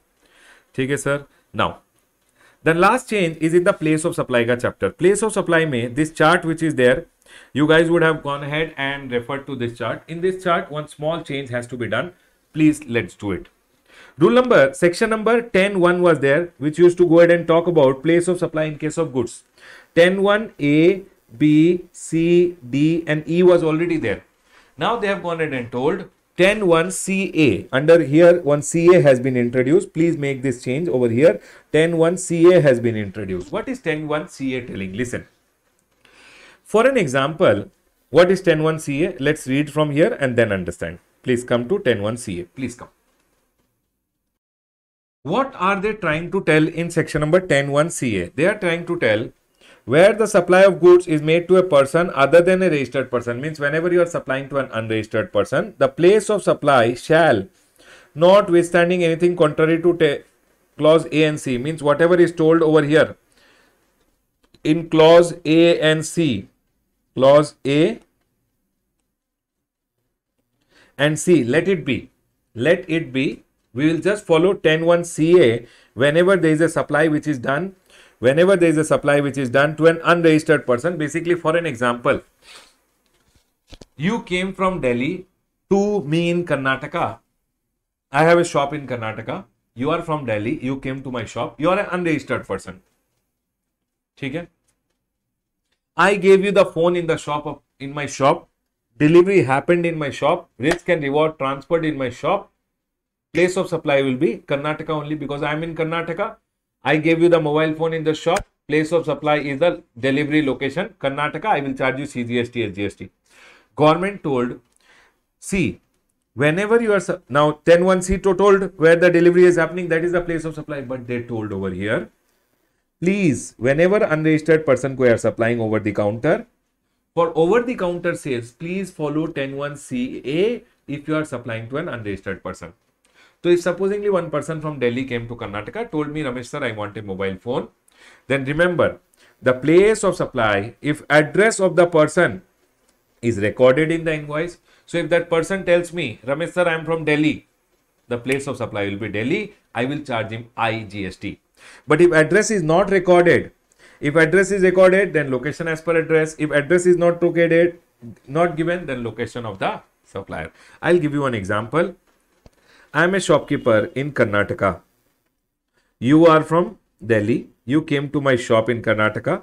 you told you might have come for a visit or might be on a tour and you saw that in my shop you wanted a buy, my mobile phone location of the supply is karnataka i gave you the mobile phone in karnataka 101c if applied the place of supply is the delivery location where risk and reward is given so i should charge you cgst and sgst but they told if this person who is coming from delhi is an unregistered person ask him the state he told his state is delhi location of supplier is karnataka then the place of supply will be where whatever address he has given and I should charge. Supplier and place of supply is different state. I should charge him IGST. Sir, he did not tell me where is he coming from. If he did not tell, location of supplier is Karnataka. The place of supply will be my location only, Karnataka, and I'll charge him CGST and SGST. That's all they are telling. And you know what? You don't have to take his address, everything, not required. Recording the name of the state of the person shall be deemed to be recording the address. If I record the name of the state, that's it. That's it. That will be the place of supply. So remember this point and they have given one example also. There may be cases where unregistered person purchase goods over the counter in a state and thereafter transport it to another state, generally the state where he resides. Now destination is that state, right? When you came to Karnataka and you took the phone to Delhi, destination is Delhi.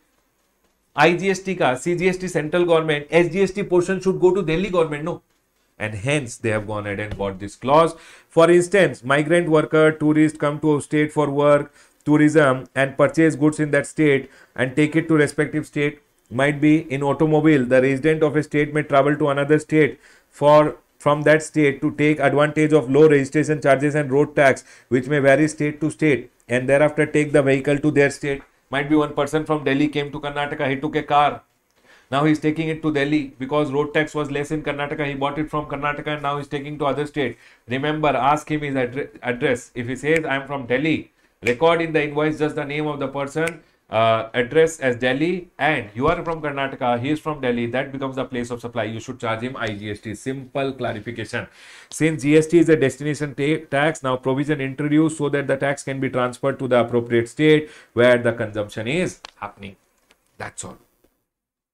Done, sir. This point is clear. After that, they have given clarification on place of supply in case of advertisement sector. This both I will go ahead and explain it to you. Listen carefully. Here I am not gone ahead and written anything because these are two circulars which are in addition. Please listen.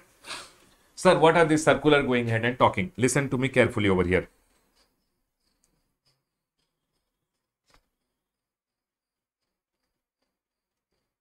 For an example, this is one advertisement company. Pogo. Okay. Pogo came and told me, Ramesh sir, you have a hoarding ka board over here this hoarding belongs to me. I am a vendor. I have this boarding, hoarding board. Pogo came and told me, Sir, sir, this hoarding which is there, can you give the right to use this hoarding? Right to use the hoarding to us. Means, can you allow us to use this hoarding? You will see, no, in the hoarding numbers are written. You can call them and take the hoarding on rent. So what I did, I gave the hoarding to them on rent, or might be I gave the hoarding for them to use it or might be I sold the hoarding. In this scenario, for an example, location of supplier, I am located in Karnataka. I gave the hoarding to them to use. People asked, when you are giving a hoarding to someone, might be this is attached to the earth or it is attached to a building. It's an immovable property. Can you think whenever it's an immovable property, place of supply, which rule will apply? Sir, services in relation to immovable property, always remember location or intended location of the property, boat, vessel. Always remember where the property is located, that will become the place of supply. Can you tell me, sir, when I give him the right to use or I allow him to use, I give it on rent to him, the place of supply will be as per section number 12.3. That is, where the hoarding is located. So if hoarding is also located in Karnataka, I am also in Karnataka. This person ko when I am giving the bill, I will charge CGST and SGST. I hope this point is clear to all of you. That's what they are telling over here. See. There may be case wherein the supply of space or supply of right not the hoarding space which is there i have given it to him for him to use or supply of right to use the space on a hoarding or structure which is an immovable property. Baba anything attached to the earth is immovable. Hoarding is an immovable property okay? Belonging to a vendor to client advertisement company for display of their advertisement on the hoarding or structure what will be the place of supply provided by the vendor to the advertisement company? They are telling supply of space on hoarding given by vendor to advertisement companies right to use an immovable property hence section number 12.3 shall apply and the place of supply shall be location where such hoarding or structure is located so, sir, if I am a person, this hoarding belongs to me. He told, sir, in the hoarding, advertisement company told, might be supposingly Tata's want some advertisement from us. So, we will do the hoarding may. We will put Tata ka name, Tata T, and we want to do the hoarding. We want the uh, hoarding from you. They, they did not tell me to go ahead and do any advertisement. They told me that, sir, you give the right to use the hoarding to us. So when I give him the right to use, simple as that, Hoarding is an immovable property. Section number 12.3 will apply. I am in the Karnataka. Hoarding is Karnataka. I will charge him CGST and SGST. I hope this point is clear to all of you. In the next one, I will go ahead and tell you. For an example, there is an advertisement company. Advertisement company came and told me I am a vendor. They told, sir, can you do advertisement for us? They told, we have got a contract from Tata's. Tata want Tata Tika advertisement. So we have charged them 10 lakh rupees. I will give you 8 lakh rupees. Can you go find out hoardings and on the hoarding Tata Tika advertisement can you do? Might be this person does not have a hoarding but he took advertisement ka contract from me and he told sir i will only go do the printing of the canvas. Everything i will get it printed and i will give you advertisement service. In this scenario he is not giving me hoarding on rent. He will also he might have a hoarding of his own. He might he will get the matter printed. He will do the hoarding for one year. Supposingly i gave him the contract.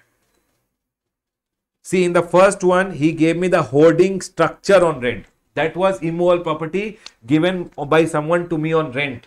I will go ahead and do the advertisement. But in the second one, I gave him the whole advertisement ka contract. In this scenario, he will go ahead and find out hoarding, he will take hoarding on rent from someone, he will get all the printing work done and he will give me advertisement services. In this scenario, what section will be applicable? They say there may be another case where the advertisement company wants to display its advertisement on hoardings, billboard at specific location availing the services of a vendor. The responsibility of arranging the hoarding, billboard lies with the vendor who may himself own the structure or may take it on rent for use basis from another person. The vendor is responsible for displaying of advertisement of the advertisement company at the said location. During the entire time the display of advertisement the vendor is in possession of the hoarding. Baba this hoarding was never given to me. No no no no. It was never given to me. Right to use nothing. I told him hey you do the advertisement for me. He told okay i will do the advertisement i'll give you the advertisement service. Remember when this guy is giving me the advertisement service here general rule 12.2 will apply because he is not giving me any mall property on rent over here and sir, location of supplier supposedly is Karnataka. This vendor is from Karnataka. He is giving me advertisement services. Section number 12.2 says, whenever and at the time uh, and the advertisement company is not occupying in this case what will be the place of supply. So they are telling general rule will apply. Sir i hope you remember general rule that sir if it is given to registered person so if supposingly advertisement company is a registered person location of the registered person. Sir advertisement company is from maharashtra for an example. The place of supply will be maharashtra and i will go ahead and charge. Igst I hope this point was clear to all of you. I'll tell you once again, listen. I'm an advertisement company. I got advertisement ka contract from Tata's. Tata's told me to do advertisement. When I am giving them advertisement service, my advertisement service के लिए तो general rule 12.2 will apply. I'm not talking about this. I am talking when I take the advertisement ka hoarding on rent from someone. He is giving me hoarding on rent, immovable property on rent, where the big banner I can put it. so this hoarding when somebody gives me on rent, he is giving me immovable property and place of supply will be as per section number 12.3. I hope this point is clear. And 12.3 says, wherever the immovable property is located, that will be the place of supply. Supplier Karnataka, immovable property, suppose this hoarding also in Karnataka, the place of supply will be Karnataka and he'll charge me CGST, SGST. But supposedly, I am giving advertisement service and in turn I am taking advertisement service from someone. Then that guy, when he gives me the advertisement service, general rule, when I give the advertisement service, again general rule only. When I will give the billing to Tata, I will also charge GST. Location of supplier Maharashtra. Supposingly Tata is also also from Maharashtra. So place of supply will also be Maharashtra because location of recipient applying general rule and I will charge CGST and SGST on my bill. He will go ahead and charge me. Supposingly he is from Karnataka and I am from Maharashtra, so he will charge me IGST. I hope this point was clear to all of you. The same thing has been told over here. This two circular is an addition which is there. Other than that, place of supply, whatever the video has been uploaded is completely amended. Only 110 CA point you have to insert and this two advertisement wala point which I have explained you, please be very careful. When I take hoarding on rent from someone, hoarding is immovable property, he is giving me services in relation to immovable property. When I take advertisement service from someone, then that guy is giving me advertisement service which is falling under section number 12 to general rule. I hope this point was clear to all of you. Done sir, done. Point is clear. We are done with all the amendments which are applicable for your May 24 exam over here. Now a small point which we had left in the chapter of composition. I'll go ahead and cover that also. In composition scheme, section number 10 2D and section number 10 2AC has been amended now they have gone ahead and told if there is a person who is supplying goods or service through e-commerce, goods or service through e-commerce where the e-commerce is going to deduct TCS, they are told those people will be ineligible. Here they have deleted the word goods, meaning thereby that if you are a supplier of goods, they have deleted the words goods over here. Meaning thereby if you are a supplier of goods and the e-commerce is deducting TCS also for you, okay, still you will be liable to go ahead. You will be eligible to go ahead and supply through e-commerce. Means supplier of goods through e-commerce where the e-commerce is deducting tcs still will be liable to go ahead and supply through the e-commerce operator. That's all is the point over here. Remember this point. Even if you are a supplier of goods through e-commerce you will be eligible to opt for composition scheme supplier of services through e-commerce where the e-commerce deduct tcs supplier of services are ineligible supplier of goods shall be eligible to supply through e-commerce even if the e-commerce is directing TCS. That's all is the change over here. Goods word has been deleted. That's all. So here I'll go ahead and close my discussion on all the amendments. I've gone ahead and covered till your place of supply. Composition chart also I've gone ahead and covered now. That's all Baba from my end with respect to composition. You can go ahead and join the telegram group CA Ramesh Soni. GST Inter in this group uh, all the updates are being provided whenever any new videos etc come the updates are being provided so you can join this telegram group for updates also uh, if you have any query you can drop me a whatsapp or telegram on 7259276368 and i'll help you with the query which you have. Done baba done. I hope you guys enjoyed the amendments. Please make a change in your chart book regarding all the amendments and please do let me know in the comment section if you enjoyed the revision if you enjoyed the amendments. Love you all. Take care. All the best for your exam keep revising study the amendments at least two to three times so that you in detail understand the amendment. Love you all. Take care. Bye guys. Do hit the like button and also subscribe to the channel